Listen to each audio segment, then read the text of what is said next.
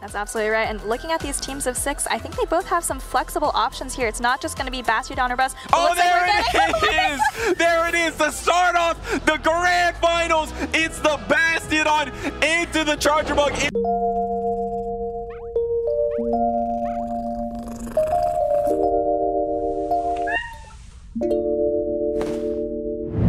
Hey everyone, I hope you're doing well. Today I'm going to show the footage from this past weekend's Portland Pokemon Go regional and a little spoiler if you haven't seen from the title, I end up finishing in uh, second place yet again. This marks my fourth ever official tournament and third ever second place finish. So a little bittersweet, but I honestly wasn't expecting to make it that far in this tournament or really ever again, but we got there somehow. This tournament was particularly stacked. The current reigning world champion, as well as the world championships runner up, its Axon and Rubix Master were both in attendance along with a lot of other really big name players. So overall, I'm really proud of how I did. And I'm gonna show you all the footage involving myself and my battles. So if you missed out on any of the action, you can check it out. And in about two days, I'm gonna release footage regarding the strategies behind why I built my team and why it works so well, better than previous Bastion teams I've ever brought. So enjoy the footage and be on the lookout for a strategy video. And we have more amazing battlers coming up because our next matchup, I believe, is going to be with Caleb Peng, a trainer I know very well. I think the one person in the world I've probably talked Pokemon Go with the most. So I can't wait to see him compete versus Zimbo, who's actually a trainer making his first ever tournament appearance, but he has been playing a lot in the local scene. This year, championship points are available through local tournaments. He's actually part of a group of trainers coming from Seattle, and they tend to do a tournament pretty much every week at Tabletop Village or Mox Boarding House. So it's really cool to see, even though this is his first debut performance in the championship series in a regional, he actually has a lot of experience in Pokemon Go PvP in the local scene. Those local tournaments are such a great way to not only test out teams, but just get experience playing in person. You know, it's so easy to kind of just get into the routine of playing from the comfort of your own home. But let's take a look at these teams that we just saw briefly. Of course, we've got Caleb Peng on the left, very accomplished battler in a lot of ways. Of course, second place last year in San Diego, as well as Fresno, qualified to the World Championships just a couple of times that way. And let's take a look at his Pokemon. He does have that signature Bastiodon that we saw him post on social media before. He's also rocking that Shadow Gligar, which we've seen been uh, so impactful this season so far. I tend to say what Caleb does is called the El Shay special because he only uses five Pokemon. He never uses that Bastion. He just keeps it as bench pressure, kind of as a safety blanket. Whenever he's brought Bastion to tournaments, he's done really well, but he rarely uses it. So I'm really interested interested to see if he will use it today. And let's see how it will match up versus the opposing team here. So I, yeah, so we've got Zimbohanen here, and yeah, talking about that Bastion, as always, it has some very polarizing matchups. Gonna do well against things like that Skeledirge, Altaria, and Charjabug, and then of course, very hard losses against Poliwrath and Whiscash. Yeah, that double water is gonna be really tough for that Bastion, and it's not only that Bastion will lose that matchup, Bastion is one of those Pokemon that will give the other team momentum. You can either stop their momentum by hard walling it, and then you're so far ahead, or it swings the other way, and if you get matched up with Poliwrath, that Poliwrath is pretty much going to counter down. So it's going to be really risky once again to bring Bastion on. So I'm not sure if Caleb is going to bring it into this series. That's a great call. It's, of course, not only the one-on-one -on -one matchup, but how that matchup uh, gives your opponent or you a huge advantage going into the rest of the battle. But I think both of our trainers are actually locked in here. We do see that Poliwrath, and it's met with the Lickitung on Caleb's side. And this is a non-shadow Poliwrath here, and this is a change that we've seen a little bit recently. Before it was almost all Poliwrath swap into the Charjabug, met by the Cresselia. I don't know if this is what you want to bring into the Charjabug because Charjabug has an X-Scissor, which is super effective versus the Cresselia. I would have liked to see Zimbo bring in potentially that Whiscash instead, which does resist those Volt switches. But Cresselia, you know, a very bulky Pokemon can certainly hit back here. This Future Sight is going to do a lot of damage and potentially put the Charjabug into the yellow. Yeah, running Future Sight like Colin did in Stuttgart and what that boy Jay actually did in previous iterations of the meta, instead of running the Moonblast, trying to use that for neutral matchup, is actually going to press the Grass Knot, and Caleb knows his counts, knows it's not very effective, lets it go. And Caleb actually did invest one shield, potentially reading that because the Cresselia was brought in here, Zimbo potentially doesn't actually have a great answer for the Charjabug in the back. Caleb firing off this last X Scissor here. I think this is going to be just enough to knock out the Cresselia and there is no Protect Shield, so that does knock out the Cresselia, but this Charjabug just has energy, and the Whiscash is going to be coming in, but you're almost at double X Scissor. You're going to be able to hit the double X Scissor. You could even pivot out in, out of this matchup if you want, because Azumarill in general is pretty safe once Cresselia is out of the way.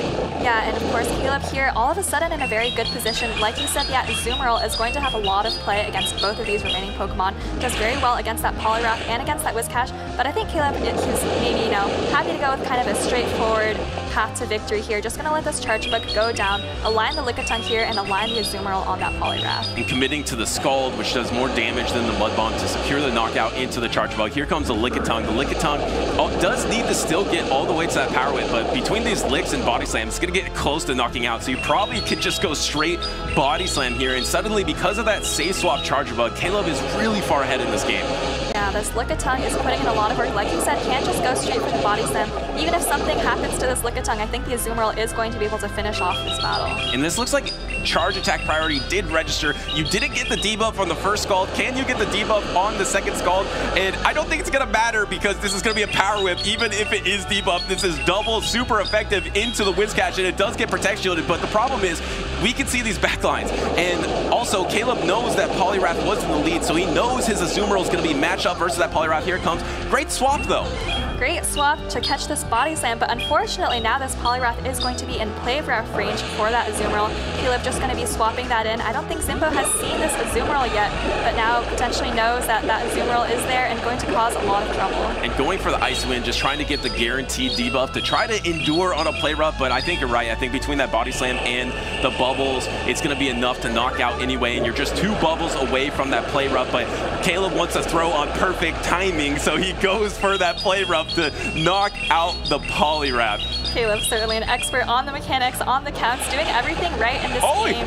Oh, actually doesn't take out. Poliwrath able to get off this last Icy Wind here, but Azumarill, of course, going to be able to take it no problem, and also going to be able to come out with a little bit of energy for that Whiscash. Azumarill, one of the Pokemon that can just hard wall the Poliwrath, is such a great answer. But, I mean, it, you are throwing bubbles back, so there is play for that Poliwrath, but in this scenario where there was no Protect Shield and you took a Body Slam, there was just no hope for that Poliwrath. And actually, it's kind of close in the end, but this this play rough is going to secure the game one victory for Caleb Peng. That was a really nice pivot from Caleb in that mid game with that Charjabug. Kind of just got so far ahead off of that Cresselia counter swap, right? Came out with a lot of energy and also was able to flip switch advantage to get the Lickitung where he wanted it. Yeah, and in that situation, you always want to switch fast because you don't want to give the opposing Pokemon a huge advantage on energy. But you mentioned during the cast, I think if you swap into that Whiscash, you have a much better opportunity to finish out that game because then you maintain the alignment and then you'll have your Poliwrath into that Lickitung, and then you have your Cresselia into the Azumarill, and then that could be a 1-0 on Zimbo's side. So here comes the Azumarill into the Poliwrath. It was the same exact Pokemon, exactly what you were mentioning, so, but Caleb switched it up, and that is not great for the Poliwrath. Like I said, there is play here, because if you do commit the Protect Shields, you are doing resisted damage, but at least these bubbles are resisted too, and decides to go for the Icy Wind, just wants to guarantee that debuff. Caleb knows it. You really don't want to Protect Shield and Icy Wind, so no Protect Shield for Caleb. I do see Caleb looking at those team sheets, potentially thinking if this Poliwrath is staying in, Azumarill probably oh, has a lot of play in the back. And here's that Bastiodon from Caleb. I wonder if he heard you, you know, maybe that was like a challenge to bring out the Bastiodon, which is in a favorable matchup here against that Cresselia. Yeah, I think he thought it could have some backline play, but in that game number one, you had the Poliwrath lead and the Whiscash in the back for Zimbo, so you're ABA strong versus Bastion. So really a bold choice from Caleb to actually bring the Bastion into game number two, but it's worked out beautifully. The only downside is you'll win this matchup, you don't win it so uh, heavily that the Poliwrath can't counter down. So Poliwrath is at least going to get an Icy Wind or Scald probably once Bastion wins this matchup. This Cresselia has a ton of energy. I think one over 100 here, going to be firing off these neutral grass knots. Like you said, Cresselia can get the Bastiodon pretty low, but the Bastiodon isn't going to be usually coming out with a huge, huge advantage. Yeah, the grass knots are neutral, and just Cresselia is so bulky, it just adds up over time. You're still going to be able to probably get another grass knot off unless Caleb does throw right before the Grass Knot. No, you get that Grass Knot, but I think Caleb actually has to throw energy here. It's it's going to be kind of clunky if you go for the entire smack down, down. But Caleb is the pro in the Bastion. Here comes the Poliwrath trying to knock out that Bastion, but Caleb switches it out. Caleb does save that Bastion, which is going to have some nice play against that Cresselia and Skeledirge in the back. Poliwrath going to connect here, does a lot of damage, put that Poliwrath into the red, but actually still pretty healthy. I don't think he can bubble down from here. Yeah, I, the non-shadow Poliwrath is just bulkier to endure those play roughs, and yeah, you're going to land the Scald, but you're also not doing that much damage back. Can you get the debuff? You're going to need something here. You can't get the debuff. There are two Protect Shields remaining for both trainers, so it's going to be kind of a fast attack off, but the problem is it's going to be really hard to finish off any of these Pokemon with Skeledirge. Caleb has that Lickitung in the back, hasn't shown it quite yet, but it is going to have a good matchup against both the Cresselia and the Skeledirge, so I have to give a little bit of advantage to Caleb here. Yeah, I think Caleb is decently far ahead. Yes, you are gonna, no, actually, you don't even knock out the Azumarill. the Azumarill has the Ice Beam, but you know, this isn't terrible, because at least you get an Incinerate out of it. You get one Incinerate, but I think Bastion has a lot of energy, and yeah. it yeah. looks like Caleb instantly pivots into the Lickitung, and I don't think you're going to even see that Bastion uh, or I'm not even sure. Uh, you're going to Protect Shield this for sure. There's four Protect Shields remaining. No, you don't even Protect Shield it. Wow. Caleb feeling good, not throwing out the Protect Shields. You know, I was going to say maybe he could just lick all the way down here. Maybe he still can, but just like you said, that Bastion, I believe, has a lot of energy. Uh, very close to 100 because I don't think it threw at the Cresselia, but uh, is throwing off this first power. Maybe just going to you know, go this straightforward approach, just peel away both of those Protect Shields and finish with the Stone Edge. And first Protect Shield of the game for either trainer, and it's just you're taking so much damage, but Incinerate's doing a lot of damage back. This Lickitung is actually lower than the Skeledirge, but it did take a Disarming Voice, so that's a little bit cheating for that Skeledirge. but going for the next uh, perfect timing there, right before the animation finished on that fast attack of the Incinerate. I mean, Caleb is one of the best out there. That's right, does put up the shield, and here comes these Incinerates, but unfortunately Caleb still has a shield, still has energy on the Bastiodon, still has enough health if he wanted to shield this to maybe look down.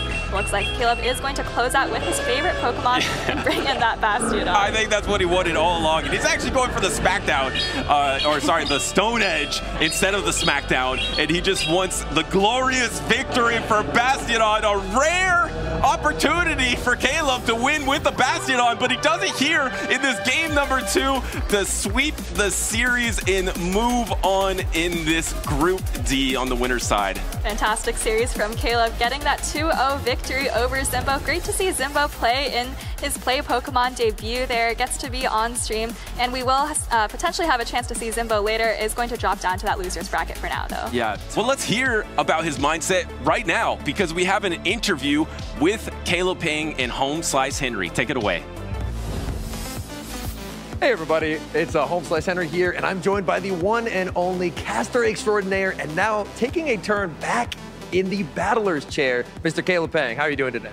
I'm feeling good. You know, uh, won my first set of battles on stream and got to bring Bastion as well to take the win. So uh, that's a win-win for me.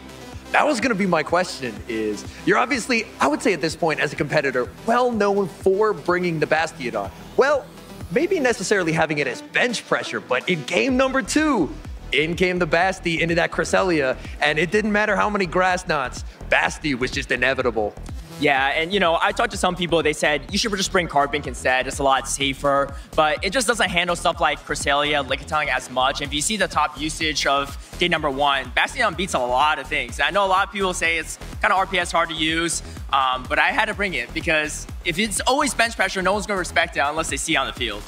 Absolutely. And to be fair, we have seen in some of these matches an uptick in ground types, which is a bit worrying for our Rock Steel friend Bastion. Uh, Gligar top usage and the Whiscash as well. So do you have a, I mean, you don't have to share it, but do you have a game plan for how you're going to overcome these ground types? Well, honestly, the first set of battles with the Shadow Latios had me really concerned. So I was like, at least have Bastion for that one. But yeah, I do have some plans for the ground water types, the water types, the fighters in general, just because I've been playing Bastion my entire career and it's terrible in all those matches. So you heard it here, here you heard it here first, folks. I am struggling with my words a bit, but you heard it here first. Bastiodon, its demise has been drastically overstated as Caleb Peng is able to take the 2-0 win and bring the Bastiodon as well. So bravo, Caleb, and I can't wait to see what you're able to do with the rest of this tournament as well. Will we see more Basti, or is it going back on the bench? Uh, well, who knows? We'll see. I might go 0-2 after this one, but I'm just glad I got to showcase a little Bastion on stream so far. Uh, but happy to be here, and yeah, thank you for the interview. Absolutely, and a good luck to you the rest of the way. Ready, but we have an absolute, I would say a heavyweight bout coming up here, Phoebe. We have Caleb Peng on one side, twice the runner-up at previous regionals, has qualified for Worlds before with his trusty Bastion versus number two at Portland last year and number two at Worlds, Rubix Master. Two Titans collide here in the semifinals of day number one. And you've built the excitement, and we are ready. Our players up on stage, and there are the teams. Caleb Peng bringing that Azumarill, Bastiodon, Lickitung, three extremely bulky Pokemon, followed by Shadow Gligar, that Charjabug, and a Shadow Poliwrath. And on the side of Rubix Master, we have that Cresselia, the Shadow Alolan Sandslash, the Azumarill, which, if I remember correctly, is on the Ice Beam and Play Rough moveset, the Registeel, the Trevenant, and a bit of an interesting pick here. We've seen some variety in Flyers, but we do see the Mandibuzz on the side of Rubix Master. Yeah, so let's look at the movesets for Caleb. His team, the Azumarill is running Play Rough Ice Beam as well, so no great coverage for those steel types. Bastiodon on the very typical set, Smackdown, Flamethrower, Stone Edge, Shadow Gligar, Lickitung, Poliwrath, and Charjabug. No surprises here. Running Icy Wind and Scald. No power-up punch. You and I talked about it a little bit. I, I, I said I don't, I don't really, I'm not, I'm a, not a strong believer in the power-up punch. I think you give away too much, and in open team sheets, you don't get enough back. Very fair. And and we do see, as you had mentioned, with Medicham, we saw Power Up Punch, the Poliwrath running the Icy Wind and Scald, but we do not see a counter user on Rubix Master's team. We saw in San Antonio, Dunebug actually winning San Antonio without a counter user, and we've seen more people follow that trend. For the move sets, Rubix Master is on the standard Grass on Future Sight on Cresselia, the Alolan Sandslash is Shadow and has the Shadow Claw, and we did note the Mandibuzz on Snarl, and instead of Foul Play, opting for the slightly harder hitting Dark Pulse. And as it typically is when you run a Pokemon like Bastion, I think this is really going to come down to where that Bastiodon lands if it is run, because there are so many polarizing matchups on Rubix Master's side. You don't have the Hydro Pump on the Azumarill. You're going to be doing amazing as the Registeel. Trevenant, although it's a Grass versus Rock type, doesn't really uh, stand up due to the bulk difference. And here we go into game number one, and we actually don't even see the Bastiodon. It's going to be Poliwrath versus Trevenant. We see a quick swap into the Charjabug. And this Charjabug up energy could prove to be problematic for the line that Rubix Master has brought, as we see the Charjabug able to outpace the Trevenant, fire off this X-Scissor, and the X-Scissor will do very meaningful damage to that Trevenant.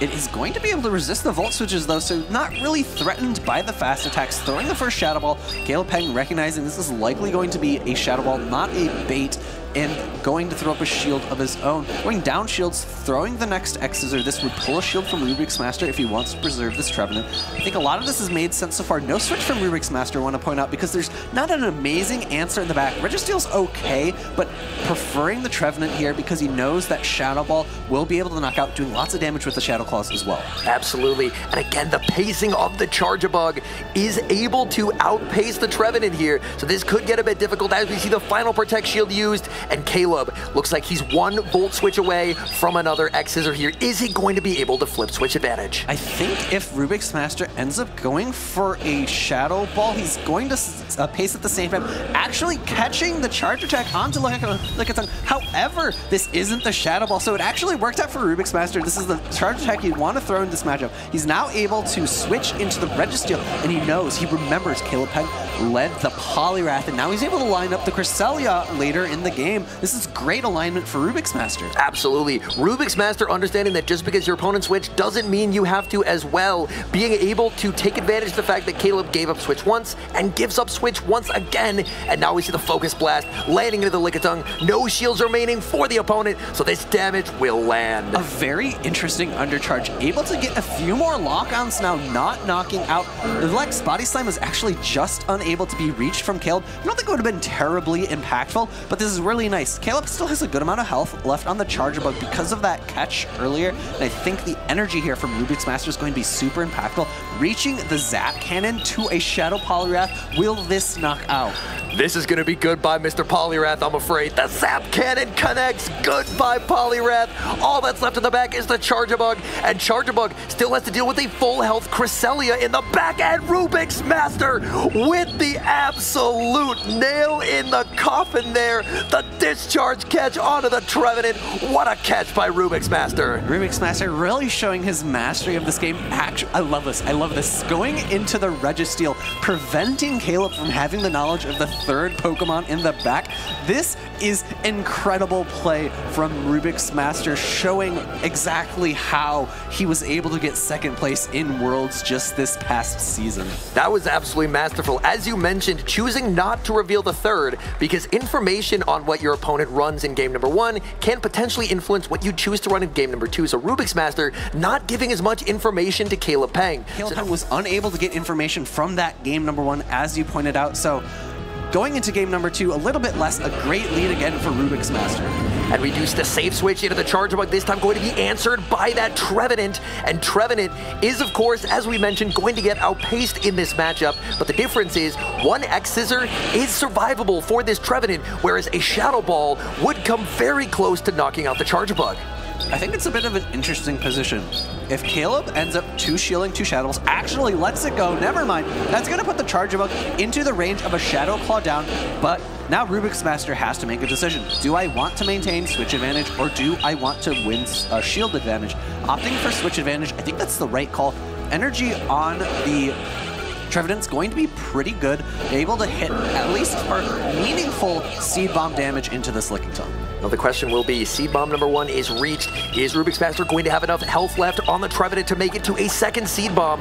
One Seed Bomb connects. That's already getting closer to Focus Blast range. Trevenant, this is going to be close, and it runs out of HP. So Caleb Peng not only has a shield advantage, but has an energy lead as well. Aggressive switch into the Gligar, which is answered by the Future Sight Cresselia. And I think this was a pretty good team compositional uh, understanding from Caleb here, recognizing that once you pull out uh, the, actually, honestly, the Trevenant's not that great against Gligar. Gligar looks really good against all three of the Pokemon that Ru- Rubix Master uh, brought to this game, and it's going to take that first Grass Knot quite comfortably, get to the dig, great shield by Rubix Master. I think this is going to be the matchup where he actually has the most value with his health because the charge attacks from Registeel and the fast attacks from Registeel just don't do that much to Gligar. Absolutely, and even though the baiting out the Trevenant doesn't necessarily help the Gligar, it does in the fact that Caleb was able to get that shield advantage, and now with the shield advantage in this endgame, I mean, Rubix Master has zero fast move pressure here into the Gligar, kind of like what we saw in that earlier Mormon Mad matchup, saving two shields for a Pokemon when your opponent doesn't have good fast move pressure here, and now the Gligar is going to be extremely difficult for Rubix Master to remove from the field of play. I think this is good for Rubix Master. Getting this Grass Knot off, I think Caleb could have thrown at Charge Attack tie, but he's going to instead opt for a big farm up, throwing the Aerial Ace. I don't think Aerial Ace would have been enough earlier, and now coming out with a full dig to hit this Registeel. Registeel does have some energy, but is not quite at it yet. There are no shields on the play. This dig is going to land, take the Registeel probably into the yellow, and another charge attack will be uh, required in order to knock out, but it looks like there's going to be a charge attack coming in from the Registeel first. We do see Registeel forced to go for the Focus Blast, cannot afford to take another dig, and it will come down to this. The Lickitung got some energy earlier farming down the Trevenant. Lickitung, typically not a fan of going against Registeel here. Can Lickitung do enough damage? Registeel getting closer to the Focus Blast, but first the Body Slam gets thrown. Resisted Body Slam times two. Will it be enough to knock out the Registeel? It looks like not quite yet, but the additional lick damage, not quite enough. The Focus Blast comes through. Caleb Peng shaking his head, I think recognizing that this is going to be just about enough to knock out, and it does! 2-0 to Rubix Master, knocking down Caleb Peng into the loser's side of the bracket. Unbelievable plays by Rubix Master. Down a shield in the endgame. That Shadow Gligar looking deadly, but still able to fight back, grab those shields away from the Gligar. Without those shields, you can make it to that Focus Blast. Gligar normally a very difficult matchup for the Registeel, but again, it was teamwork there. Getting health down on the Gligar, getting away those shields with Grass Knots, and then the Registeel standing strong, taking down the Lickitung. What a series from two amazing competitors. Uh, we have an awesome last matchup of the day. It is going to be Caleb Peng versus Beach to end us off.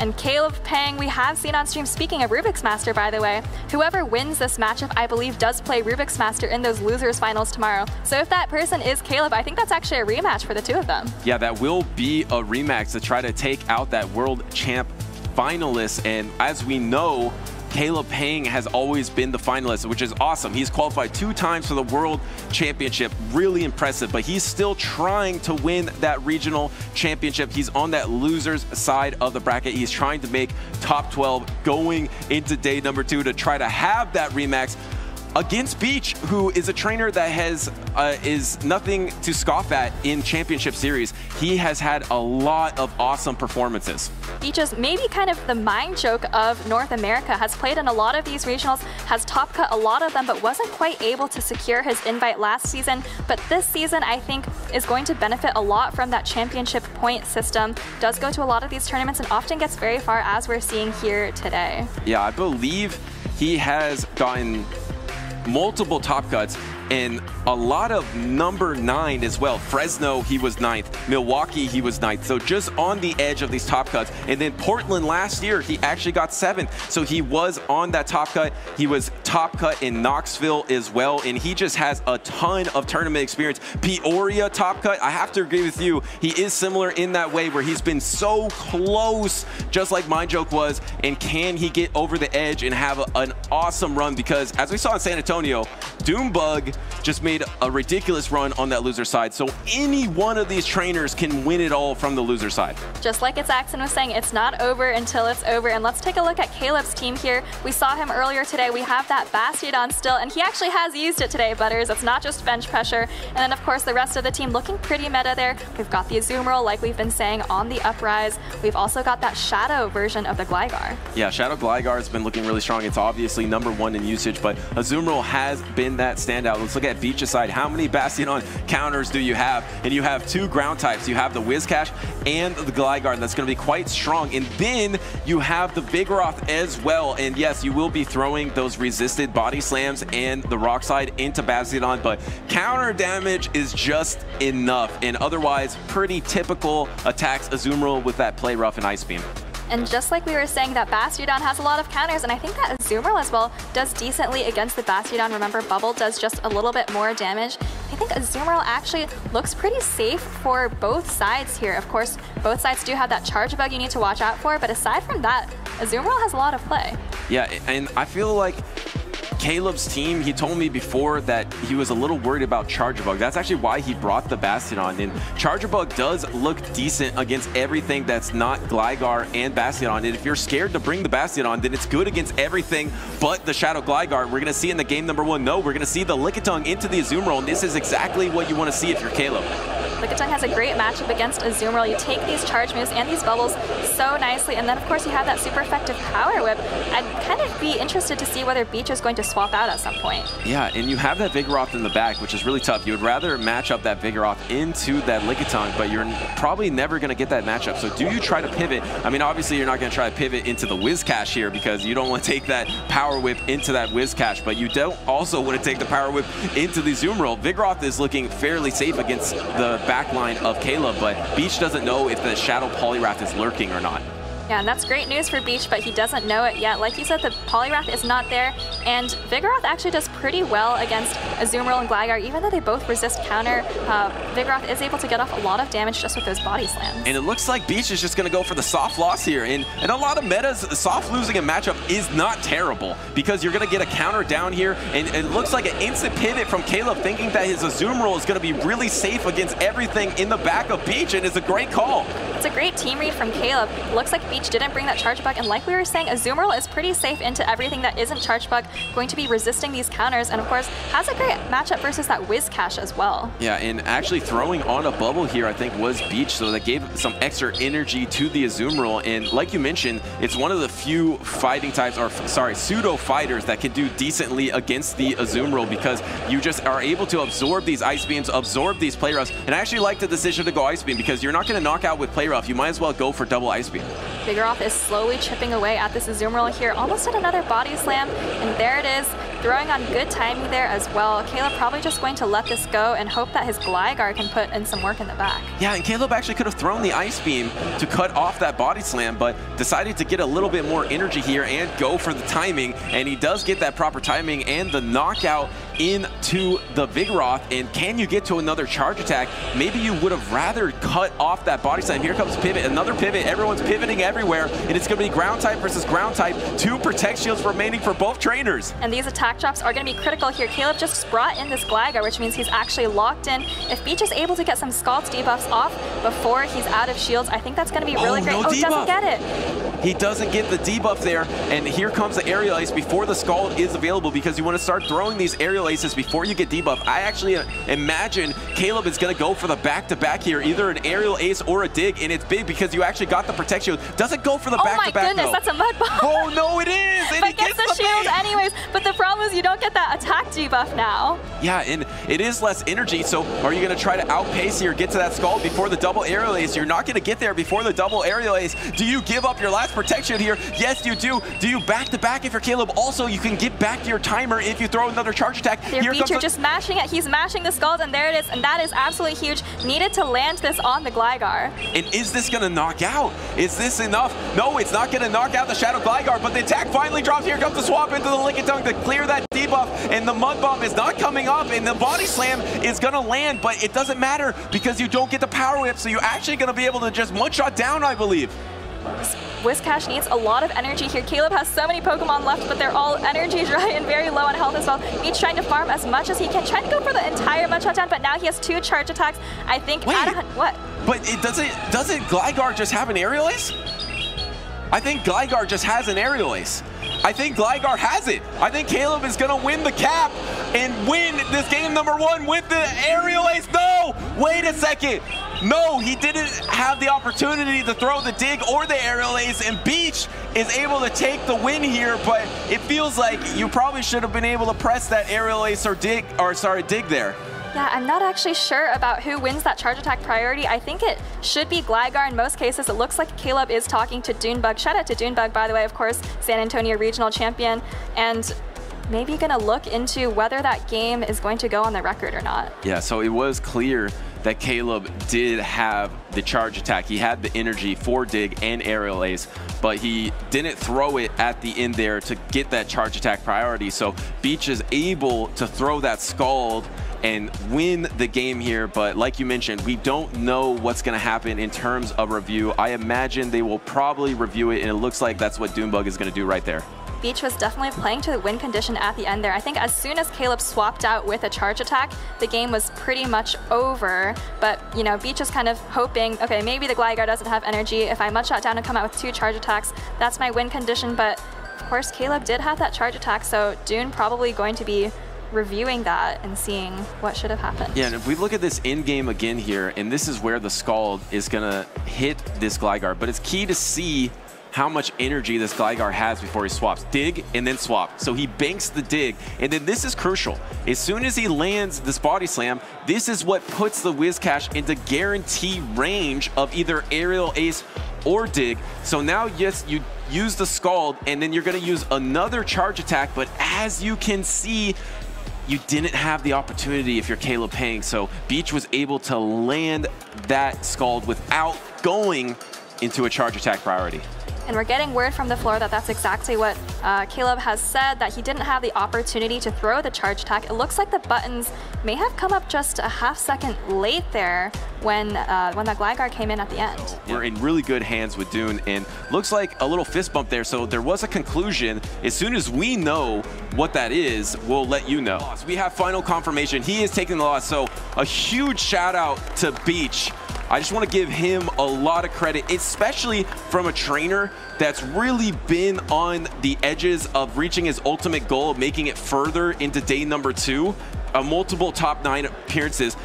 To have the courage to concede that game in a moment like this, that is just awesome from Beach. I want to give a lot of credit to Beach. You're absolutely right. It takes a lot of courage here in this moment. You know, I don't think there's a rule that ever forces a player to concede uh, when it's neither of the player's fault like that. But, you know, Beach kind of recognizing that the game was over, that Caleb should have been able to throw that dig or the aerial ace, whichever came. And um, looks like Caleb is taking that 1-0 victory here, and they're going into game two great integrity from Beach. I mean, just I, a lot of props to him as a person and as a trainer. And here we are, game number two. Beach is down 0-1 because Caleb did win that game. And now we got Charjabug on Charjabug. And again, charge attack priority is gonna matter. Who wins charge attack priority? This time, it's Beach winning charge attack priority. And look at those backlines. Alignment is going to be critical here. If you're Caleb, you want the Poliwrath on the Lickitung and the Azumarill on the Gligar, and you certainly don't want the opposite. But the interesting thing about this mirror match is that two X-Scissors doesn't actually take out a Charjabug. Look at that, they're both in the green there. So it's gonna come down to those Volt switches at the end. Interesting, so yeah, we're gonna see who will win this mirror. It won't come down to that charge attack priority. As you can see, this X-Scissor does not knock out. The next X-Scissor is gonna be coming in from Beach's side to land into Caleb. A Volt Switch is coming through, so it's going to be Volt Switch on Volt Switch. Caleb decides to go for the alignment out of nowhere, and he's going to get the Volt Switch down. Oh, no, does he? I think he does. Oh. No, he oh. doesn't, and he has to swap into the Azumarill, but he does catch that X-Scissor at least. But the great thing is, remember, this Azumarill is incredibly safe as long as the Charjabug is out of the way, and it is certainly out of the way now. That Charjabug is going to faint later to any fast attack, and here comes that Lickitung from Beach. This Azumarill is a little bit chunked from that X-Scissor, but I think still is out of range of a single Power Whip. Yeah, but the problem is, two Shield Gligar is going to be so strong in the back versus Caleb because Charjabug has a little bit of health. You don't don't really have to respect that energy. You're going to be able to handle that matchup no problem, taking Volt Switches and X-Scissors, and then you can have those Protect Shields for those Icy Winds in the back from the Shadow Poliwrath. So Beach is actually in a really good position because of his backline Pokemon. Unfortunately, Caleb throwing up that shield in the lead, going for that Volt Switch down, but Beach's Charjabug was able to hang on with just a sliver of health, which kind of forced Caleb to give a switch advantage, which remember was the goal probably of that Protect Shield. And barely holds on because that Body Slam doesn't knock out, lands the Play Rough here, and do we see another pivot? We know Caleb likes to keep these Pokemon around at very low health, comes for the pivot, and Beach is still switch locked, so great play by Caleb to manipulate the switch timer like that. Now he has an energy advantage going into the Shadow Gligar that has a Protect Shield advantage. And this is a tough position for Caleb, but certainly has a little bit of play. You know, this is maybe the worst case scenario for this Poliwrath, but uh, is able to get off this Icy Wind first because of that little energy advantage. And remember that Charjabug he has is still loaded with energy. Obviously, Gligar resists all of Charjabug's attacks, but potentially, if you have enough damage and if this Gligar gets debuffed enough, Charjabug still has play. Yeah, but how do you get it low enough? Because this next Icy Wind is going to get protection. Here comes the swap into the Charjabug. This is... Gets the free counter, too, and now it's locked in forever. Yeah, it is locked in forever. Great point. You just removed your ability to drop that debuff here, and then now you can't really aerial ace that charge Bug, and can you even get the wing attack down? You can't, so you have to throw this energy. How many X-Scissors is it going to take? Is it going to take three X-Scissors? I think it's going to take three, but this Gligar doesn't have a lot of energy now, and Caleb still has a little bit of an Azumarill if, if he needs to go for a catch. Oh, looks like he barely only has one, a little bit more than one X-Scissor of energy. Does this X-Scissor do half of what this Gligar has left? I don't think so, but maybe the Volt Switches are gonna add up. Yeah, almost, oh. almost half actually. And now you get oh. a swap on the aerial ace. A ridiculous catch by Caleb Peng to absorb that. And now, like you mentioned, I think with the Volt Switch damage, this X-Scissor is gonna be enough and out of nowhere. It looks like Caleb Peng is gonna win this series 2 to 0. An impossible comeback from Caleb there. Incredible play, making a catch with a four-turn fast move user in that Charjabug. That is so tough. That's why Charjabug, Skeledirge, those Pokemon with the clunky fast attacks are really difficult to switch with. And Caleb was able to swap on the aerial ace. Maybe Beach thought that swap wasn't going to happen because who would even go for it? But Caleb went for it and it worked out and he takes that series 2 to 0 to move on to day number 2 in Portland. I think that was one of the best comebacks of the day that we've seen so far. Caleb looked like he was in such a tough position, going down his shield, losing switch advantage, getting the Poliwrath on that Gligar, but somehow, some way was able to pull it out. Needed a catch, needed a Charjabug to take out a Gligar. I mean, I'd love to see some replays of that game. For that, let's hear from one of our veteran trainers. We have Caleb on the floor, fresh off his victory with Home Slice Henry. Hey everybody, Home Slice Henry here, joined once again by Caleb Peng. And if you're getting interviewed twice in one day, you've probably been doing something right. So Caleb, welcome back, my friend. All right, glad to be here. It's been a long day, but uh, glad we can wrap it up on a pretty fun victory there. Absolutely. And going into that matchup, I mean, going up against a pretty formidable competitor in Beach, able to get that 2 to 0 win. But what I want to focus on, Caleb, walk me through that game number two the catch at the end there. Because at that point, if you don't make that catch, you're not winning that game. Yeah, I mean, especially with a four turn of Volt Switch on Charjabug, he could pretty much throw in a, and prevent me from catching. So I had to go for a little pause there uh, to ensure that I could get that catch off. And it worked out timing wise. So uh, hopefully made for some entertaining content for everyone too the high level mechanics working out as I mean so far all you've done when competing basically is top cut and you're back the, I mean, previously I believe it was California, but now moving a little northward, still, you know, in the Pacific Northwest area. But day number two coming up.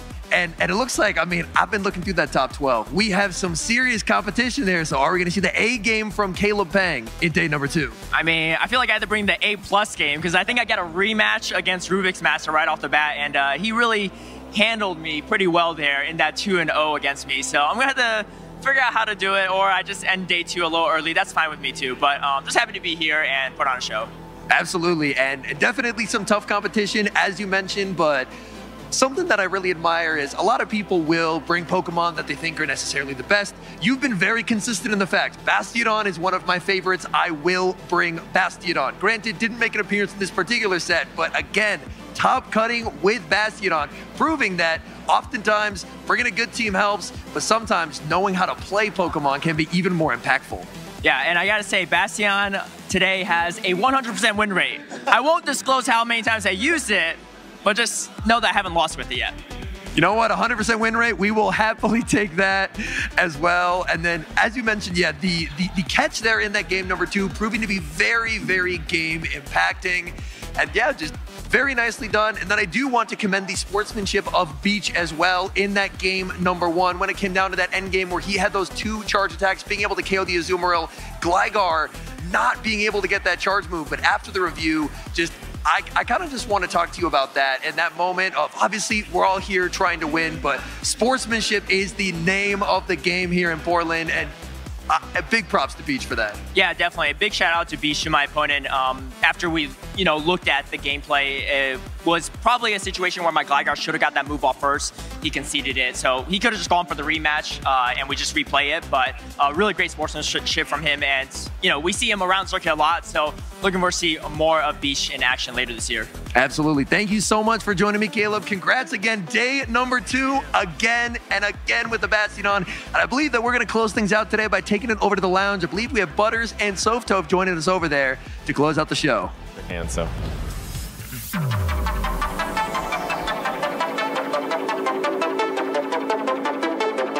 Welcome back, Pokemon trainers. My name is Home Slice Henry, joined here in the booth by the one and only Alpha Phoebe. We are in day two of Portland, and we've had some amazing matches so far, and we have an absolutely incredible rematch coming up here, Phoebe. Yeah, it's going to be Rubix Master versus Caleb Peng. This is not the first time they've faced off in this tournament. It will be the second time. A bit of a grudge match. It is the final losers finals of the group stage. Afterwards, we will transition into our top eight. Absolutely. And previously, when these two trainers match up, Rubix Master was able to get the 2 to 0 victory, but these trainers have had all night to think about the rematch, study the footage, develop new game plans, make adjustments as necessary here. And these are two incredibly good trainers. Both have qualified for Worlds previously, so with a night of preparation under their belt, we should be in for some amazing matches, Phoebe. Very fair. It looks like the trainers are ready on the stage. Rubix Master versus Caleb. And let's go through these teams once again, Phoebe, starting with Rubix Master. It's going to be Cresselia, Shadow Alolan Sandslash, Azumarill, Registeel, Trevenant, and Mandibuzz. It's going to be one of the only Trevenants that we see here. Also, double Shadow Claw on both that Sandslash as well as Trevenant. And I believe maybe one of two Mandibuzzes that we have in day two. Definitely, and Mandibuzz, is a very interesting choice. We've definitely seen a bit of a debate here in terms of which flyer is going to be preferred. We've seen a lot of Gligar, we've seen a lot of Skarmory, and a couple trainers making the case for Mandibuzz as well. So Rubix Master taking a look at the team. The Cresselia is running Future Sight instead of Moonblast. As you had mentioned, the dual Shadow Claw users, the Shadow Alolan Sandslash with the Legacy Shadow Claw, the Trevenant, the Azumarill, no Hydro Pump, the Registeel, and the Mandibuzz on Snarl, Aerial Ace, and the slightly harder harder hitting Dark Pulse instead of the Foul Play. I'd also be curious to know if Rubix Master is happy with his choice on that Mandibuzz. Would he have preferred maybe Aerial Ace or Foul Play for faster pacing uh, in terms of uh, Foul Play, or maybe heavier hitting damage in terms of that uh, uh um, Air Slash, excuse me.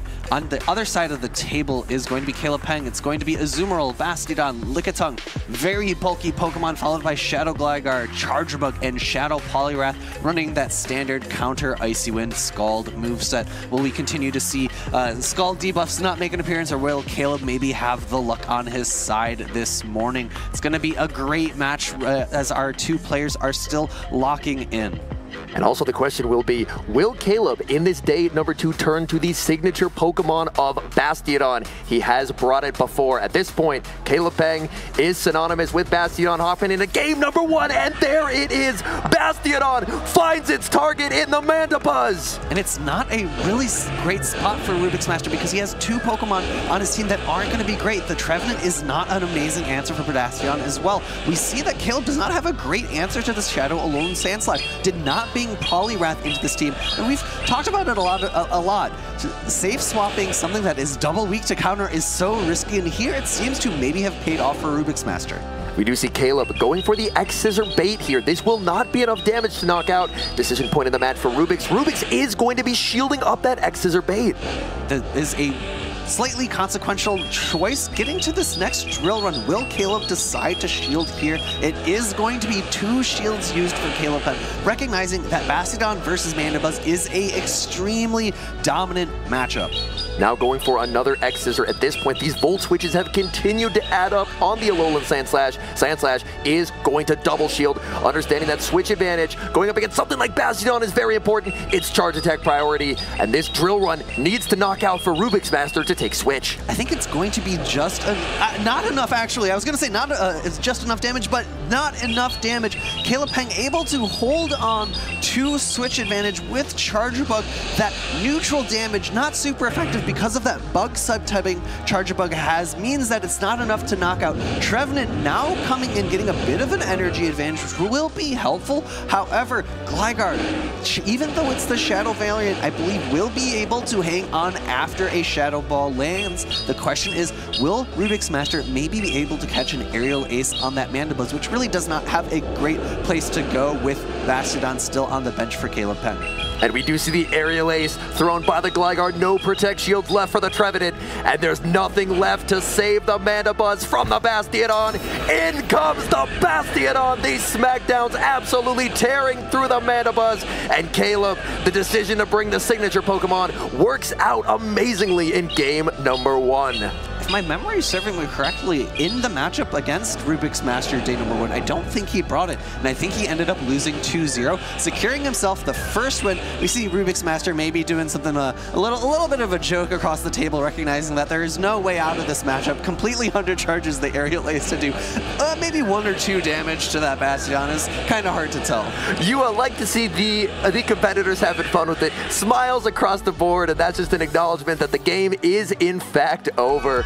But what a bold choice by Caleb Peng, choosing to bring that Bastiodon into a team that does have a Registeel, getting the lead call correct getting two X-Scissors shielded in the mid-game, preserving switch advantage, and the Bastiodon absolutely inevitable against that Mandibuzz. Better lead here into game number two. Shadow Alolan Sandslash into Bastiodon. I think Caleb might play this out. I think Bastiodon can hold on, maybe tries to catch a drill run at some point, but actually staying in, drill run coming through. Let's see if Caleb decides to shield this charge attack. This is double super effective damage onto that Bastiodon. The no shield, that does big damage, but Bastiodon is extremely bulky, able to withstand the damage and make it to the double super effective flamethrower.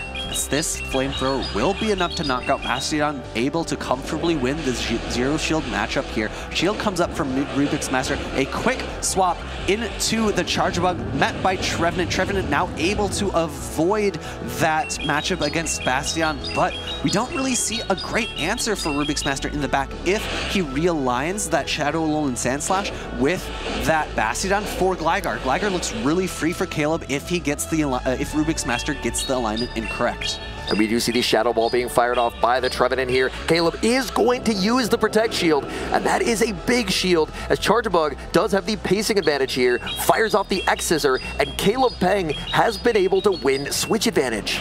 Switch Advantage is going to be key if Rubik's Master reveals his third Pokemon, Registeel. Registeel not having a very good matchup against Shadow Gligar. Both of its charge attacks will be resisted, doing about the same damage. In comes Registeel, so it has been revealed Caleb Peng now knows that he needs to keep the Gligar away from uh, this Registeel. However, it looks like or not away from the Registeel, away from the Shadow Alolan Sandslash. However, it looks like Caleb was looking to potentially swap in the Gligar, which would allow Rubix Master to switch in the Shadow Alolan Sandslash and regain that alignment, and comes in with almost two Ice Punches loaded, and I think this is going to do a massive amount of double super effective damage to the Shadow Gligar. This is where the energy management by Rubix Master, storing that energy earlier, is going to come in clutch as Ice Punch number two is thrown. Caleb maybe not anticipating just how much energy was stored on the Sandslash. No shields remaining for the Gligar. That's a one-hit KO, and Gligar goes down, losing quite a lot of energy. It's a tough spot. His team of three did not have an amazing answer for Registeel in the two Pokemon that had been on the field already. Bastiodon and Charjabug both really not able to hit back Registeel for hard hitting damage. Even the super effective Flamethrower does, I think, about 40% health uh, to 40% uh, damage to that health of that Registeel.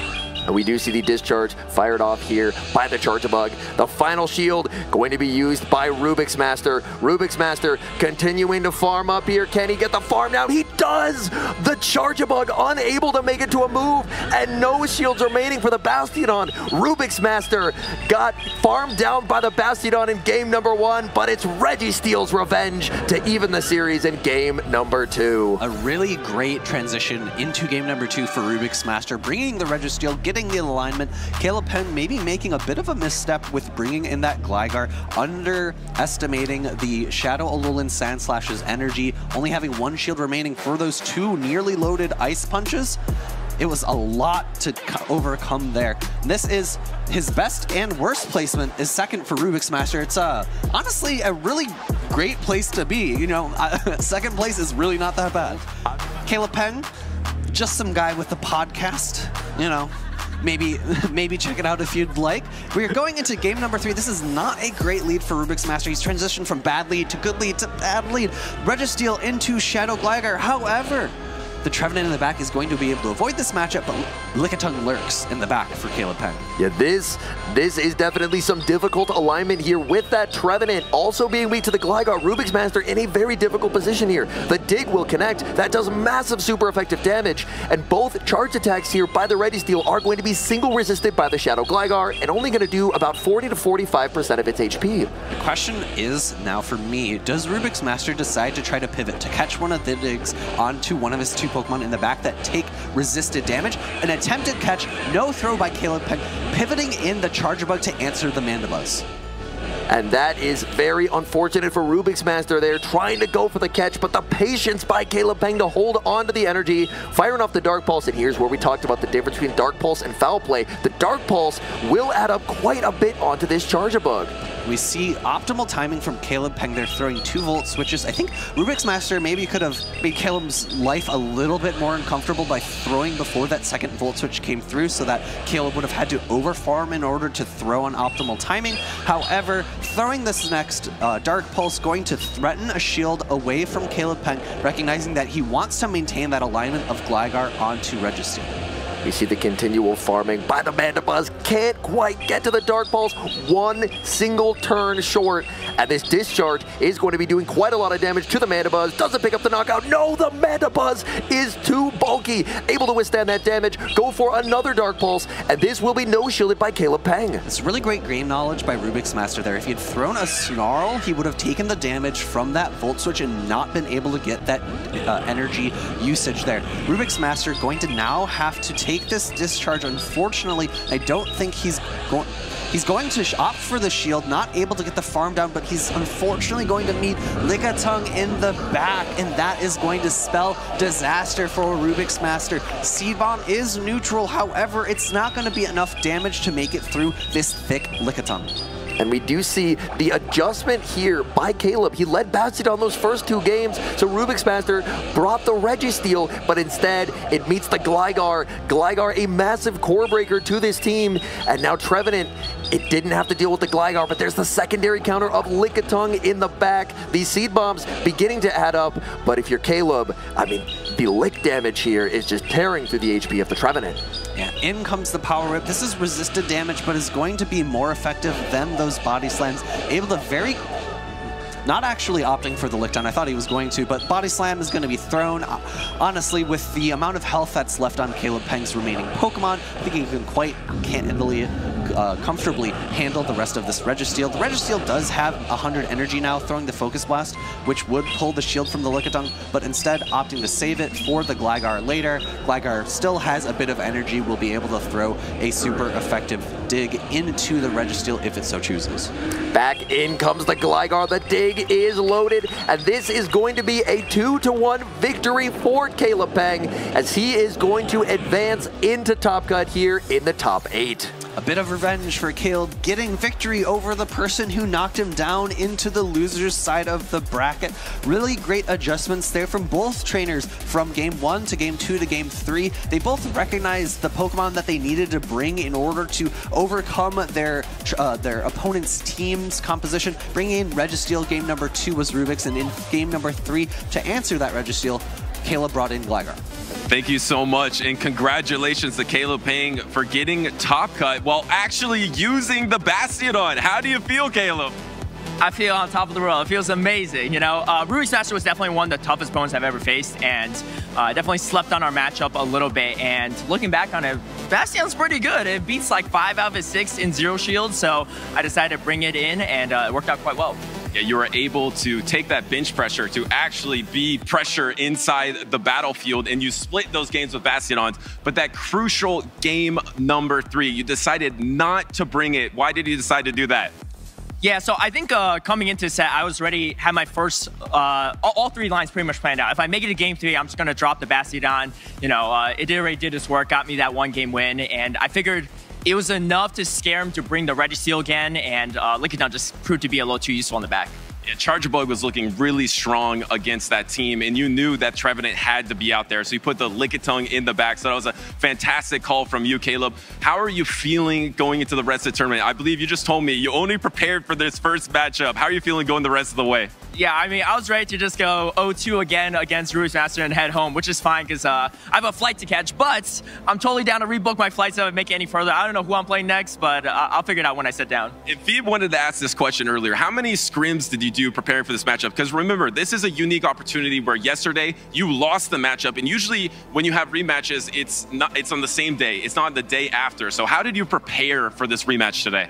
Yeah, uh, great question. So, um, big shout out to my podcast co-host Anacor, uh, as well as my Timmy, uh, my teammate Kimmy Sui, uh, who did some scrims. I only did two sets of three, um, but I got a lot of insights actually from LNDS Hard Jeff as well. He gave me some words of wisdom and some encouragement. So, uh, big shout out to them to help me prep for this because that's pretty much all I did. I just prepped for this one match and that was it.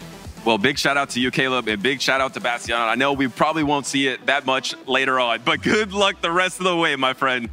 Back to you, casters. The moment was absolutely perfect, but he has had some entertaining games for sure. But now we have another amazing matchup. We have Caleb Peng, of course, a two-time Worlds qualifier last season, but both times he was the runner-up in his regionals versus Onion Frank, the number two seed in this tournament in multiple top cuts, but I believe he hasn't made it all the way to a grand finals before. I think that's right. I think his highest placement last season came with a third place finish. So like you said, hasn't made it to grand finals, but has made a lot of these top cuts here. I feel like we usually see Onion come in on the winner's side here, so it's going to be be a long road for him in these losers rounds. But like you said, number two seed, extremely experienced player. By the way, has even qualified for Worlds before in TCG. So really oh, just oh, wow. an incredible Pokemon player all around. Wow, that's interesting. I did not know that about Onion Frank, but one thing I do know is Caleb Peng and Onion Frank have not battled each other.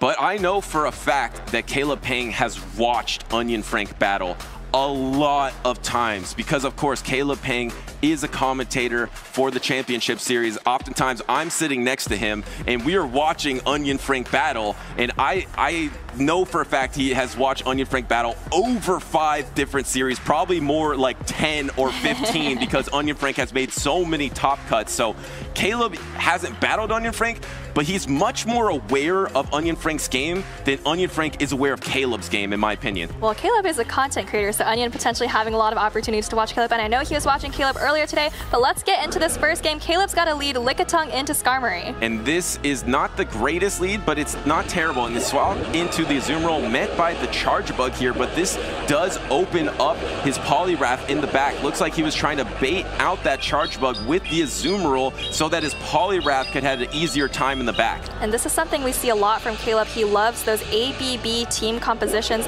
Like we said, baiting out the Charjabug, one bubble and throwing perfect timing, and you know just trying to do as much damage with this Azumarill as possible. Probably then going to absorb the Charjabug's energy on Lickitung, and then come with that Poliwrath and see what it can do. And here comes the next discharge right before the Ice Beam or Play Rough is available. And it's going to be not easy to counter down with the Poliwrath, so you have to assume after... Oh, wait a second. He actually protects shields on the Azumarill and doesn't throw the bubble, just throws the Ice Beam without throwing the bubble first and trying to get shields down because I think he wants shields down for his Shadow Poliwrath. Yeah, I think that's exactly right because Caleb might be potentially thinking that there, and thinking correctly by the way, that there's a Gligar in the back, and in that case, Poliwrath definitely needs shields down, but Onion also recognizing maybe switch advantage is kind of important. I'm going to go ahead and shield my own Charjabug. I got that entire Volt switch as well. Throws the X-Scissor here, and that's some nice chip damage on the Lickitung, but Caleb comes in right oh, away with that wow. Poliwrath. That was so risky there. And remember, he didn't throw a bubble earlier against that Charjabug. And if that didn't pay off and the discharge was available, that would have been a huge mistake. But now he's matched up against Shadow Gligar. And Shadow Gligar can take this matchup, but it's charge attack priority here. And Onion Frank knows he needs the Protect Shield. If you let that go, it's going to be a one-hit knockout. Here comes the Protect Shield. And I think that's a great shield from Onion. Frank does get that charge attack priority off. And the great thing is for Onion that once this Poliwrath is out of the way, the charge attacks from that Lickitung are really not threatening. Actually, Caleb letting his Poliwrath go here. How is he planning to take out the Skarmory? I, I don't know, but he has to take out two flying type Pokemons with this Lickitung. I know Lickitung is really good, probably the best Pokemon in the meta just because of, of its consistency, its consistency, its safety, and its bulk, but it's not a closer. I don't know how it's going to be able to get through this Gligar and get through a Skarmory. Lickitung, incredibly safe, but like you said, doesn't really have the pressure of those charge attacks that you need to close out the game. A lot of the time you think about Pokemon like Cresselia, like Registeel, that have these really hard-hitting charge attacks. Lickitung just, you know, if you come out of this with energy, what's that going to hit? A Skarmory? No. I think that is unfortunately not going to be a good victory for this Lickitung. And lets the dig go, and here comes the Skarmory. Skarmory is going to easily steal him down, and Onion Frank takes that game number one very comfortably against Caleb Peng here. And no Bastion on game number one for Caleb Peng. Uh, I don't feel like there's a great spot for Bastion against Onion Frank's team because you have double ground in that Whiscash, Shadow Gligar, and then the Vigoroth as well. The Bastion on, he brings it out when his back is against the wall. He brings his favorite Pokemon and it's leading versus Charjabug, but guess what? Onion Frank's ABA weak the Bastion Bastion so he can't even swap out. And we did not see this coming. We were just talking about how we didn't think the Bastion was coming, and here it is, exactly where he wants it against this Charjabug. You know, Onion Frank has the Vigoroth in the back, which has a great matchup.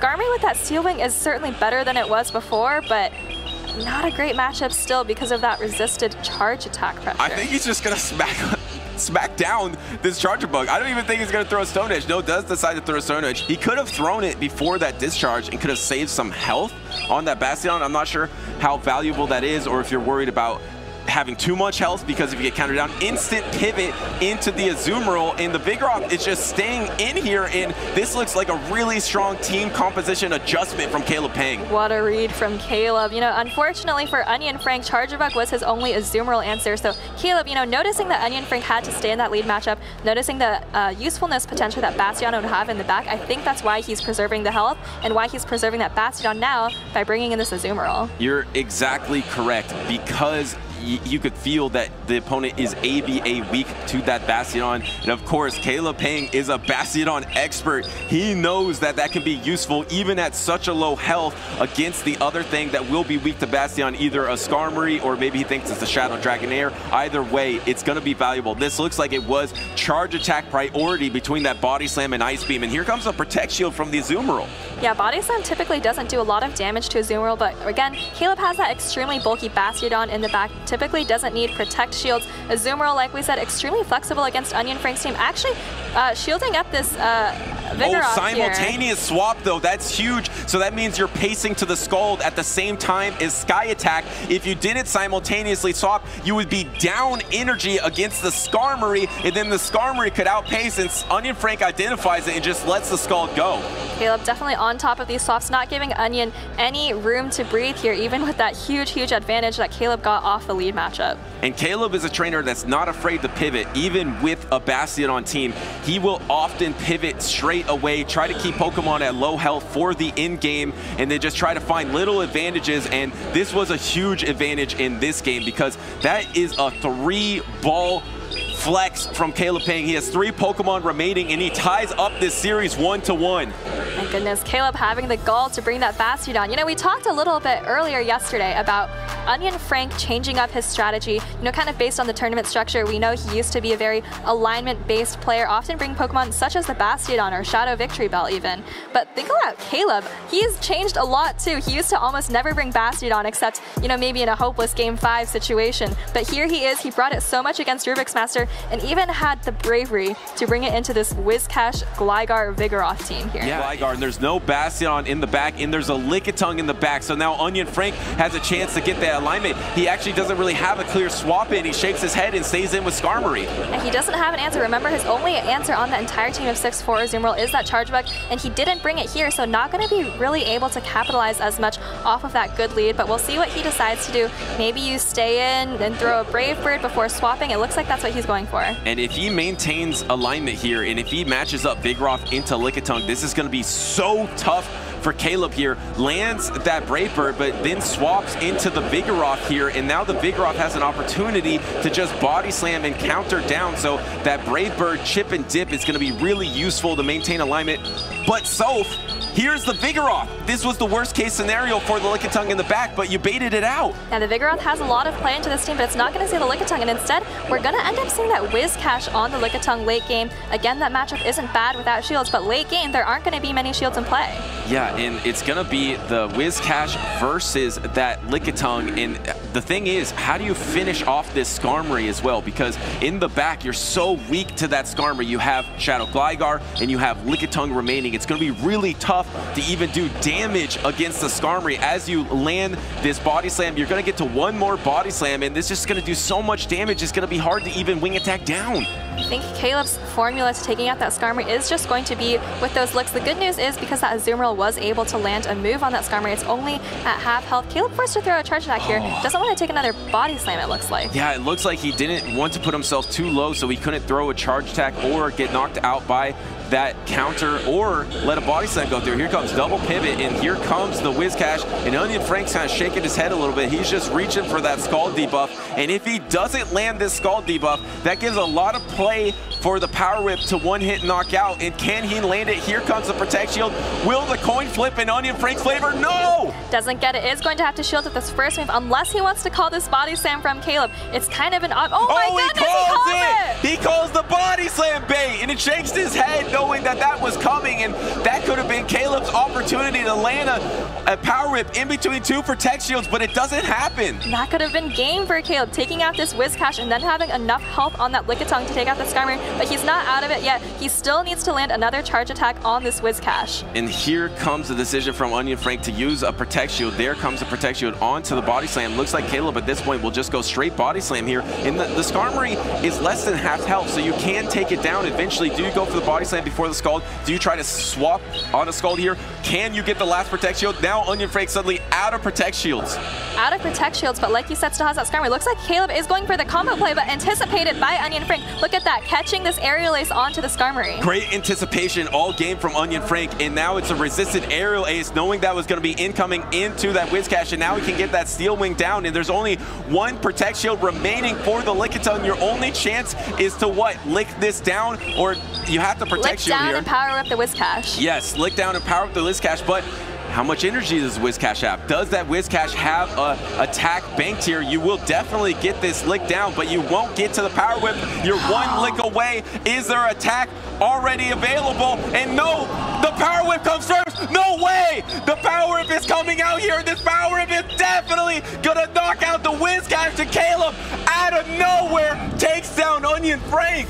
Lickitung really powering through the end of that game. And it looked like Onion Frank actually may have a, a Scald loaded at the end there. Was that before the charge move came through, or what? Did he just get the energy for that? He went for a mud shot when he had Scald. I don't know if he already had, and if he went for two mud shots, we could slow down the end of game number three, the very end, Lickitung versus Whiscash.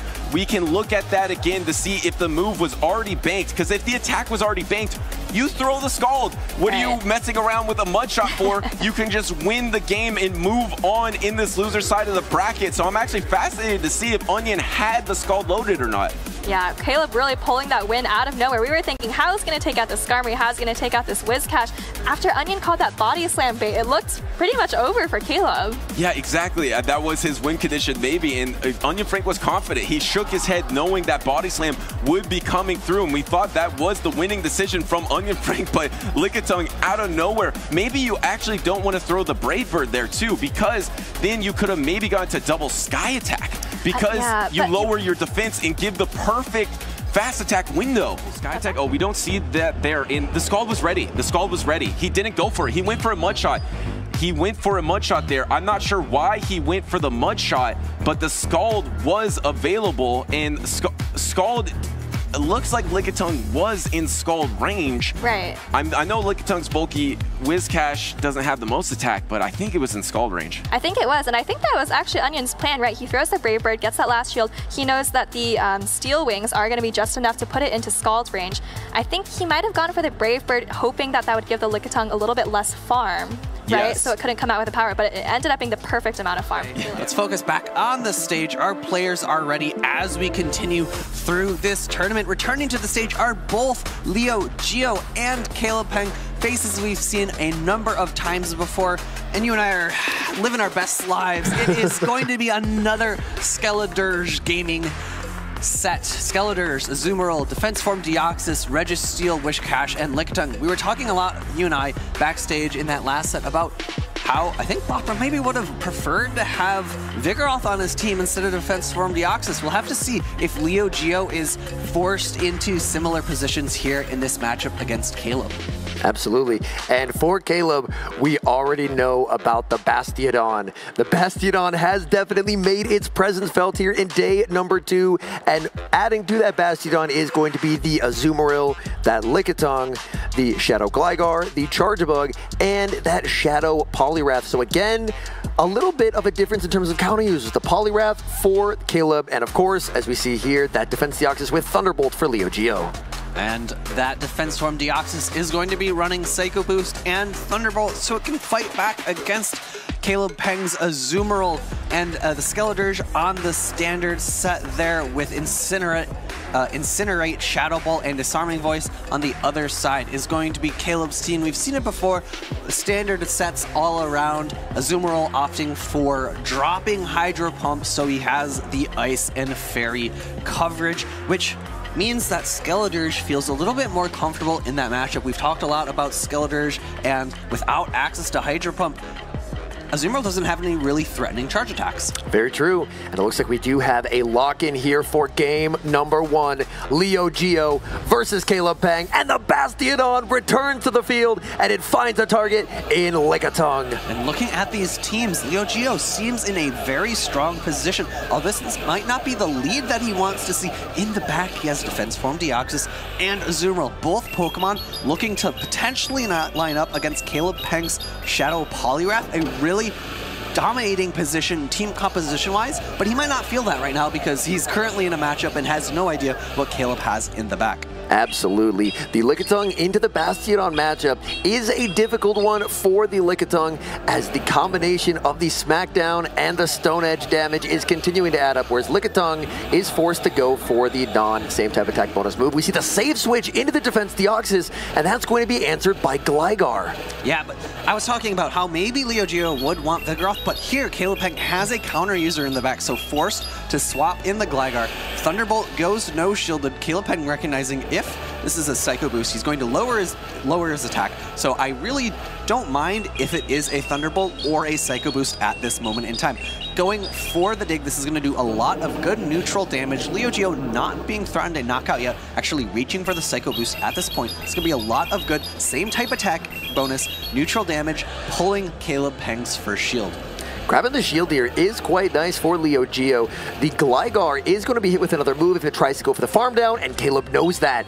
Firing off this aerial ace just before Leo Geo is able to make it to a minus two attack Psycho Boost. I might have preferred to see in a full farm down because the energy would have been pretty solid into Leo Geo's Lickitung. It's still not wasted here against the Azumarill. They're going to do a nice little bit of a chunk. The question becomes, does Leo Geo opt for a full down. At this point, actually, Caleb's looking really strong. The the, the Bastiodon, no longer paired up against the Lickitung, is going to have a really solid time against this, this Azumarill that has no access to Hydro Pump.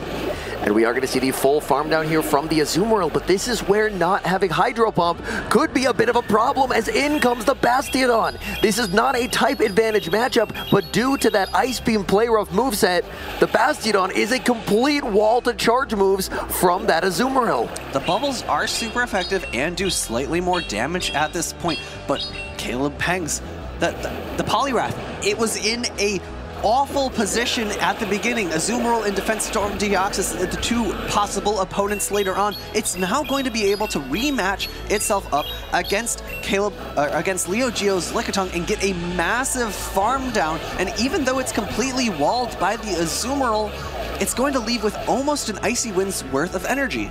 He makes the body slam. This is not enough for the power whip. And the counting by Caleb, understanding this cannot be the power whip. We do see the no shield there. And the body slam, not very threatening. And now Poliwrath gets to go for the Icy Wind. Leo Geo going for the no shield, conceding that this game number one has concluded. A bit unfortunate there, Leo Geo swapping out of that negative lead actually put him in a worse position later on, giving up his uh, theoretical alignment in the future. He would have had either of his back two Pokemon against that Poliwrath, but Caleb recognizing, oh, I can now align my Poliwrath onto that Lickitung, putting himself in a very positive position going forward. Here we go. Game number two. We've got lock-in. We see Lickitung and we see Shadow Gligar. Now this is a very neutral matchup, but Lickitung has a slight edge in that it has got significant bulk over the Gligar. We actually see an attempted catch of, I think, a Body Slam into the Charjabug,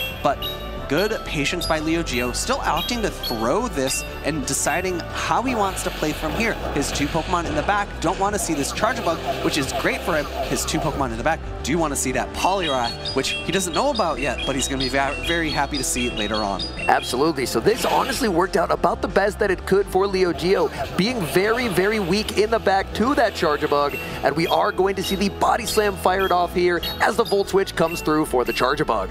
Body Slam landing, not going to threaten a knockout. It looks like one more Body Slam will do it, and I believe we are well outside of X's range.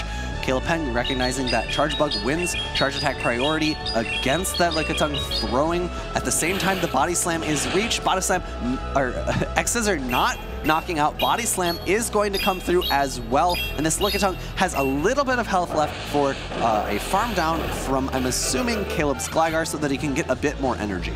And this Gligar, up a lot of energy, has not taken a lot of damage. And that energy, even if it is in a negative matchup like going up against the Azumarill, this energy is still very threatening. We saw in game number one that Shadow Dig can do quite a lot of damage here. And now Caleb, despite the fact that he is pretty weak to the Azumarill in the back, has put himself in a position that he can potentially succeed with this massive, massive energy lead on this Gligar.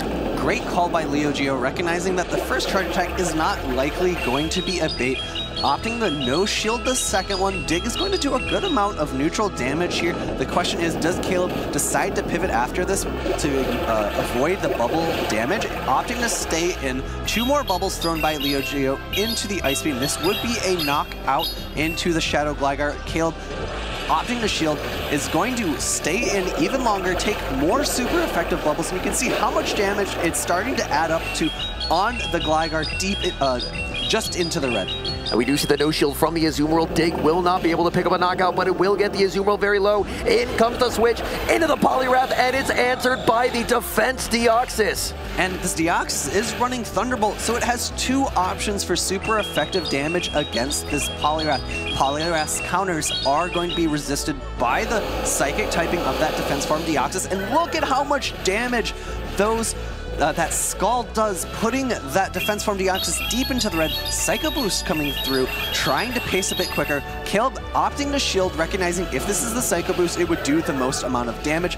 Back-to-back -back Psycho Boost thrown. We'll see exactly how much damage this reduced attack Psycho Boost does. The attack has been lowered to minus three, and it feels that that's not enough to pick up the knockout here. Defense Deoxys continuing to farm. Caleb going for the Icy Wind here, and Icy Wind would pick up the knockout unless Leo Geo shields, but he is not. He's leaving it all up to Azumarill, but Azumarill is extremely low on HP. Very low on HP. Counter is a very solid move. Leo Geo throwing an Ice Beam at the same time as the Icy Wind comes through and no shielding, recognizing that if he throws that energy, the Gligar would be able to get the wing attack down and Caleb Peng in a worst case lineup scenario actually is able to win game number two and come out victorious.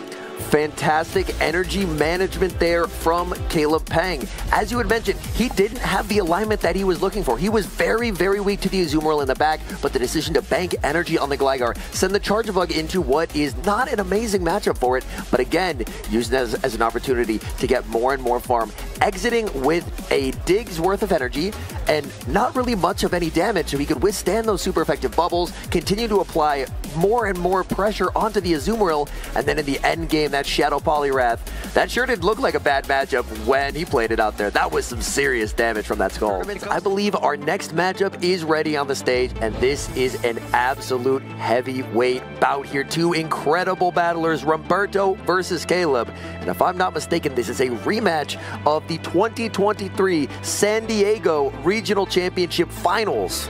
It is, and this is where both of those two trainers actually qualified for Worlds. Caleb opting to cast Worlds as opposed to participate, but Ramberto earning his qualification off of that championship win.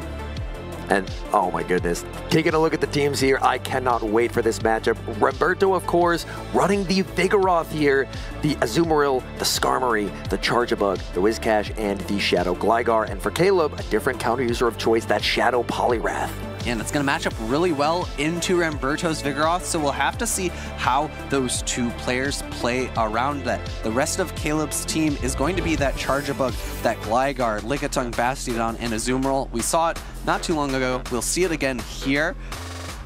As it is very frequently with Bastiodon, where will it line up? What Pokemon does it want to avoid? Obviously, it doesn't want to see the Whiscash. It doesn't want to see the Vigoroth. The Azumarill here is on the Play Rough and Ice Beam set for Ramberto, so that is a more neutral matchup than if that Azumarill was running Hydro Pump. Absolutely. And for Caleb here, Caleb, I believe it's now been a couple rounds in a row that he's felt very comfortable leading that Bastiodon in game number one. So the question will be, will the trend continue here? Does he continue to bring that Bastiodon lead? And it looks like down on the stage, the battlers are locked in. Game one, Caleb Peng versus Ramberto. Skarmory for Ramberto into the Bastiodon. There it is. In the back, we see both Azumarill and Gligar. A quick switch into the Gligar, pulling out the Azumarill. It would have been an interesting position if Ramberto had swapped in his Azumarill. The best answer Caleb would have had was his own Azumarill because Gligar would be taking super effective damage from those bubbles and he could theoretically stay in with the Bastiodon, but then he would no longer have the alignment of Bastiodon versus Skarmory. Absolutely. And the Gligar able to grab an early shield here, and we see Gligar shielding back. Ramberto would love to try and make a play for switch advantage here, but Caleb has already shielded once and may look to expend resources here. He's actually going to let this move through, but a future dig could be threatening. With the change to Bubble, you can see just how much better this matchup became for Azumarill. Very comfortably able to get the Gligar down deep into the yellow, almost into the red, just with this bubble damage. Both charge attacks have been shielded by Ramberto. The question now becomes, is he going to bait with Aerial Ace? He does bait for Aerial Ace here. This is not going to threaten a knockout, but if Caleb shields, maybe the next Aerial Ace after will be threatening a knockout. This will be incredibly close. Ramberto continues to farm. These bubbles are adding up, making it to the aerial ace. No, he does not get there.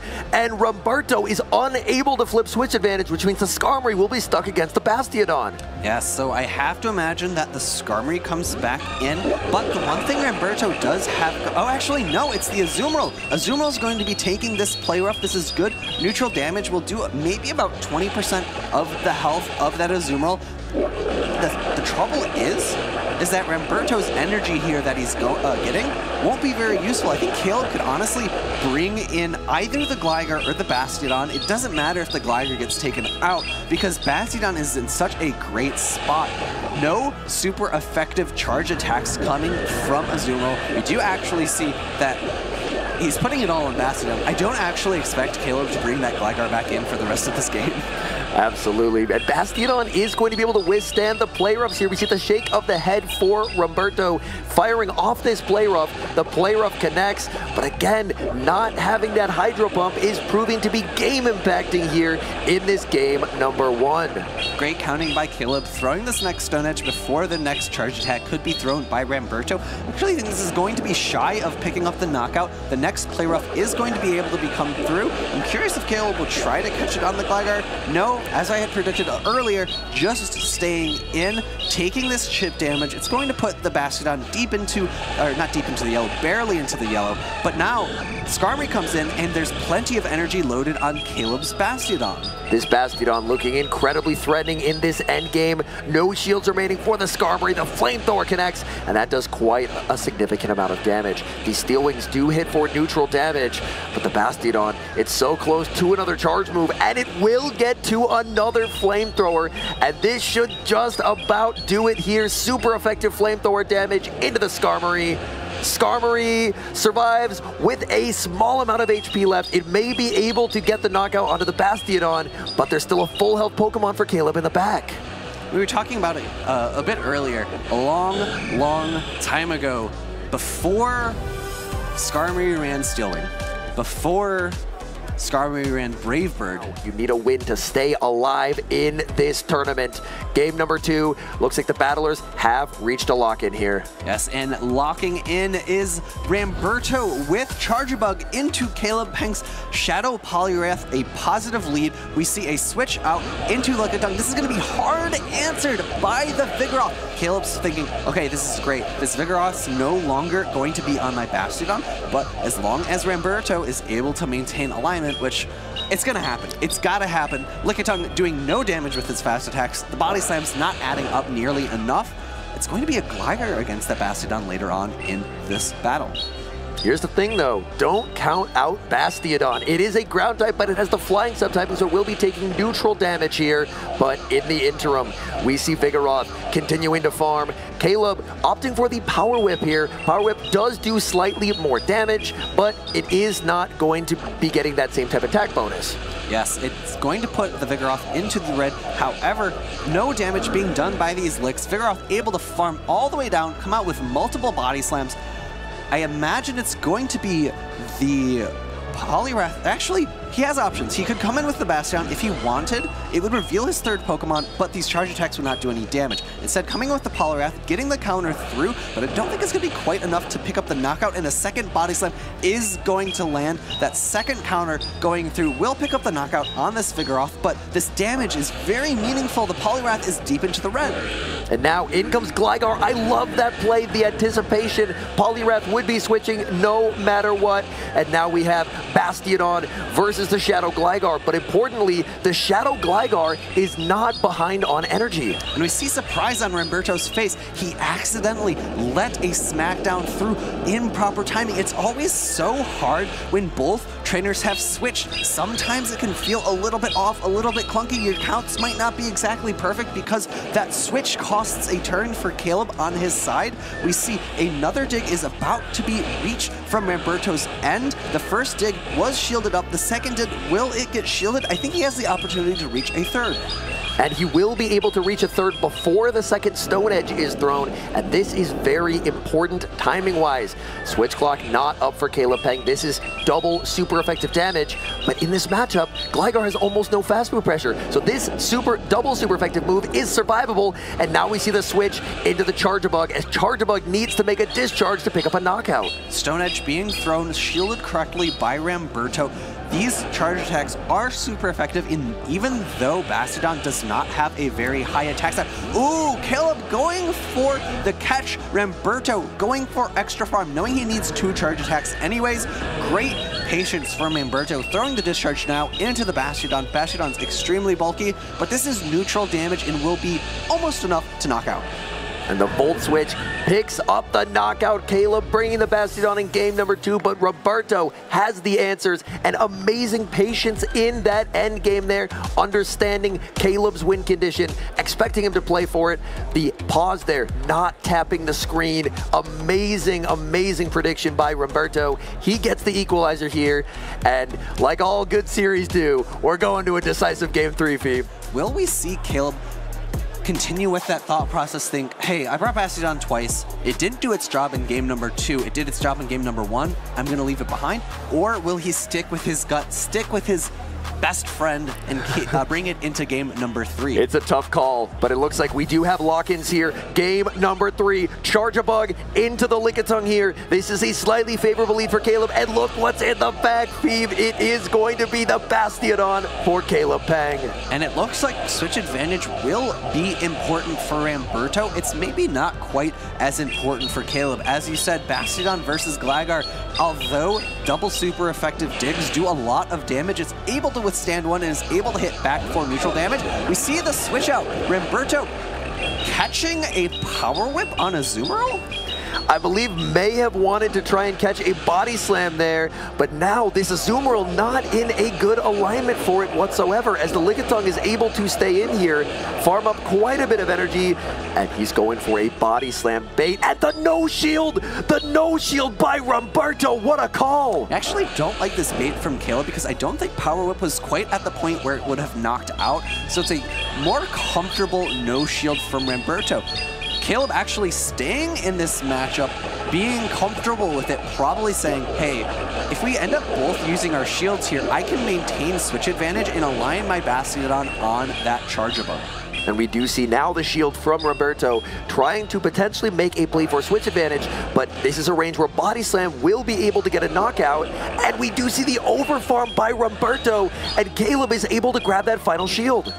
Ramberto's a little bit over Ice Beam energy. I don't think he's actually going to be able to pace fast. Wait, He's uh, one or two bubbles away now. I think that is all the difference. If he's one bubble away from the next Ice Beam, I think he will be able to win switch advantage. If he's two bubbles away, I think Caleb might reach his next Body Slam. It's two bubbles. Bobby's Body Slam is just reached before Ramberto's able to reach that final Ice Beam.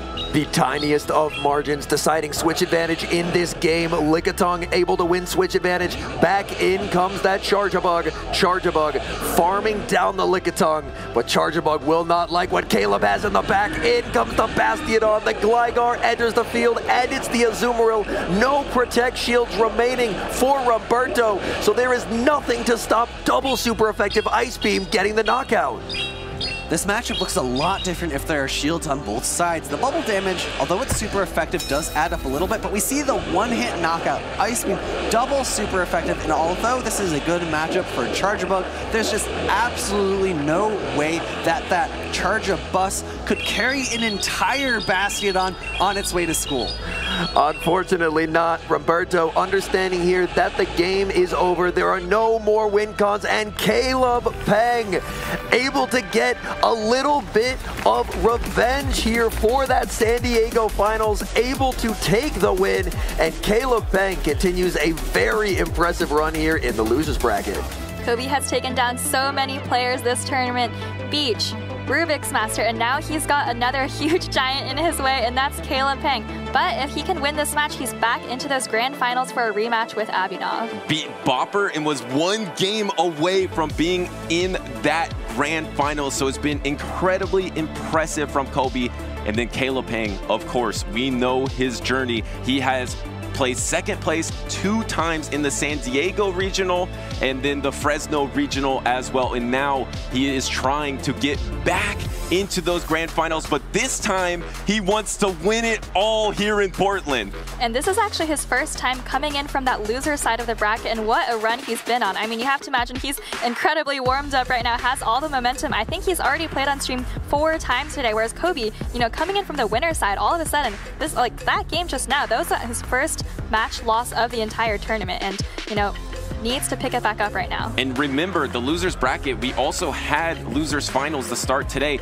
And out of those losers finals to make top cut, it was it's Axon, Onion Frank, Caleb Peng and Ramberto. And of course, Caleb Peng had to knock out Ramberto, who was responsible for a second place finish in San Diego. So he already got over that hurdle. Can he get over the final hurdle, get into these grand finals, and win the entire thing? We all thought the story might be in that loser side of the bracket here in Portland, and Caleb has that chance right now. And he is on such a run. But before I get to Caleb, let's take one last look at Kobe's team. He's got that double ground uh, core that we've seen so much in this tournament, Gligar and Whiscash. Note that he actually does have that regular Gligar, doesn't have the Shadow Gligar like a lot of other players here. And he's been using a lot of Cresselia as well, and he has told us in the past that Mandibuzz has been his MVP so far. Let's look how Mandibuzz will be against Caleb's team. And Caleb, of course, is running that Bastiodon. And this is literally the first time ever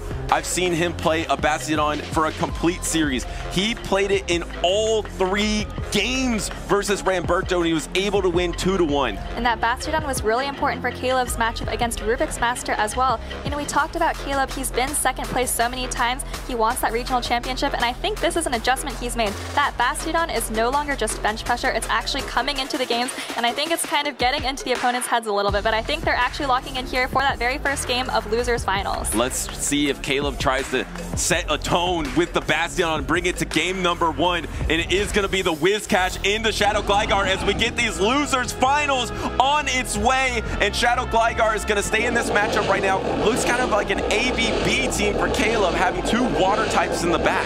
Does have that ABB, and oh! here comes the pivot, catching the Scald here, but this is going to be important. If this Scald debuffs the Azumarill, then Caleb is going to be locked in here for 50 more seconds while debuffed and it doesn't grab that debuff, but at least you do get to bring in the Cresselia, which is going to have an easier time because of that Scald damage. I believe double Grass Knot plus Psycho Cuts, it's going to be able to knock out a Azumarill, and usually without that damage, you need a triple Grass Knot, so that might be pretty good for Kobe here. And I think that's going to be good, depending on how much these Psycho Cuts end up doing. Might even try to undercharge that last Grass Knot for a little bit of extra energy coming out. Like we said, Caleb Peng is known for playing these ABB lines, has the double water and baits out, of course, the quote-unquote grass-type Cresselia there. But Kobe looks like he was anticipating a little bit. Actually has a Gligar in the back as well. Yeah, he was anticipating maybe that Poliwrath Azumarill backline. Like you mentioned, I feel like he has the perfect backline for it. He does have the normal Gligar, though. And the Shadow Poliwrath, once you get the debuff on that normal Gligar, it can endure one Aerial Ace. And now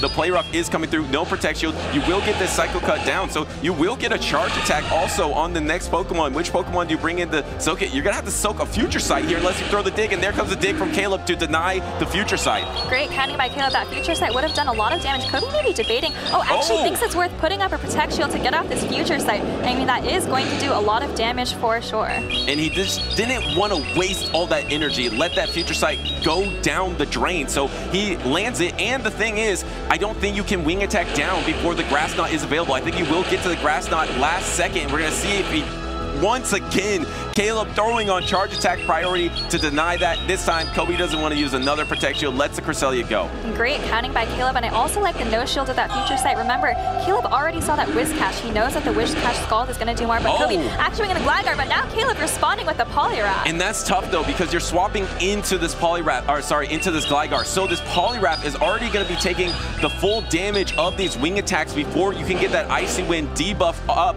And you, yes, you are up a Protect Shield, but how much are these fast attacks just going to weigh on you? I actually like that he throws on charge attack priority because that denies one wing attack from Kobe. That's right, and Kobe is going to be able to throw out this aerial ace, but I think now, if I'm not mistaken, Poliwrath has just a little bit of residual energy, might even be able to get to another Icy Wind on charge attack priority again. I think he might slightly get outpaced here, but you might be right. Will it be right on charge attack priority? I think you are close, and then there is the swap into the Whiscash trying to soak that Icy Wind, but soaks a, a Scald instead, and it looked like he tried to register charge attack priority on the Mud Bomb, but I'm not sure if it registered. I don't think that Mud Bomb quite registered. Kobe might just be about a half second behind, but throws out this Mud Bomb here. It is going to be just enough to take out this Poliwrath. And then, of course, Caleb still has a little bit of that Gligar in the back, but I don't know if it has too much energy here. Almost at an Aerial Ace. Oh, gets this Wing Attack down, though. That's going to be huge. Yeah, that is huge, and I think you need the double here to be able to knock out, and you just can't get to the double. So Kobe is able to take game one versus Caleb Peng. He just dropped two games straight to Abhinav, but rebounds in this loser's finals. Shiny Gligar taking out that Shadow Gligar. Great play from Kobe there in the game one. I think read Caleb's team perfectly. Like you mentioned, Caleb bringing that ABB double water in the back, but Kobe responding with the Cresselia and the uh, other answer to the water in the back. Uh, read that line actually perfectly. Got the Gligar on the Poliwrath in the end. So two Pokemon kind of weak and Gligar a little more neutral, but can beat it too. So we don't see that Bastiodon in this game number two, and instead we see a bad lead for Caleb Peng. Yeah, again, the Cresselia is on the Azumarill. This is exactly where Kobe wants the Cresselia.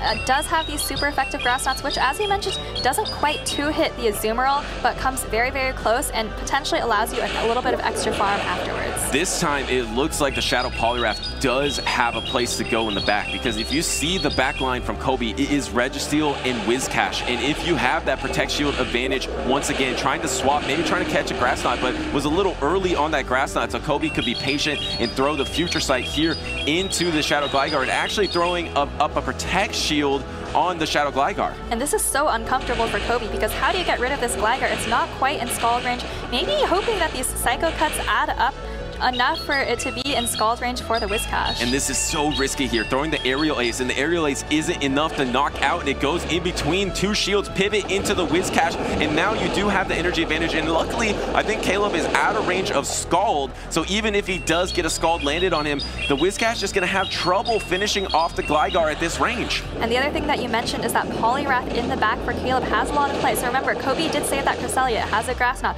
but it is extremely low, and if that Poliwrath just ends up needing to take out that Registeel at the end of the game, that could be critical. And here comes the last Protect Shield of the game for Caleb Peng, and no debuff on that Scald. And are you gonna throw on Charge Attack priority? No, going for the Aerial Ace again, and again, it is no Protect Shielded from Kobe here. I don't know if double Aerial Ace is enough. You probably need the Dig Swap, trying to catch on the Scald, but did not catch on that Scald. And this Whiscash already has so much energy, gonna be able to get off a double mod Mud Bomb here. I actually thought Kobe was gonna have to take out this Poliwrath with a Zap Cannon, but it looks like these Mud Bombs are going to be doing a lot of damage already. Remember, has that Grass Knot loaded on the Cresselia as well in the back. And now the Mud Bomb is gonna be coming through into the Poliwrath. Poliwrath is poised to get a counter down, so Kobe wants to deny it and combo move into the Grass Knot. There is no protections remaining for Caleb Peng, and Shadow Poliwrath was his best possibility of winning this game in the back, and it just got knocked out. And there's three Pokemon remaining for Kobe, but you do have that Gligar, and that Gligar is gonna match up versus the Registeel, but you can't knock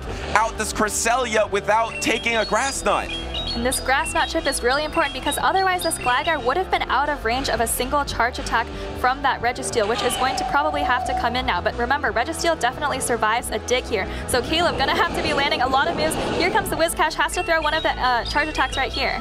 And the problem is, you knock out the Whiscash, but you need three digs because there's one Protect Shield remaining. And this is the third aerial ace that Kobe has no Protect Shielded from that Shadow Gligar. You're gonna be able to Protect Shield this dig. And at this point, the Shadow Gligar is definitely in range of Focus Blast or Zap Cannon. They do the exact amount of same amount of damage. Here comes the Protect Shield from Kobe, but Kobe is just moments away of unleashing the Focus Blast. And here oh, comes the Zap swap. Cannon, trying to catch the Focus Blast, but actually Kobe, too patient, throws that Zap Cannon here, and this is definitely going to be enough to take out the Azumarill. The only thing is he's actually going for an undercharge. Maybe wants to get some lock-ons down. Oh, this is Wow. actually perfect. That was fantastic on that undercharge. Undercharging is so hard to do, and Kobe in his second championship series tournament ever with the perfect undercharge absorbs the play rough, remains out of range of dig, and gets the lock on down.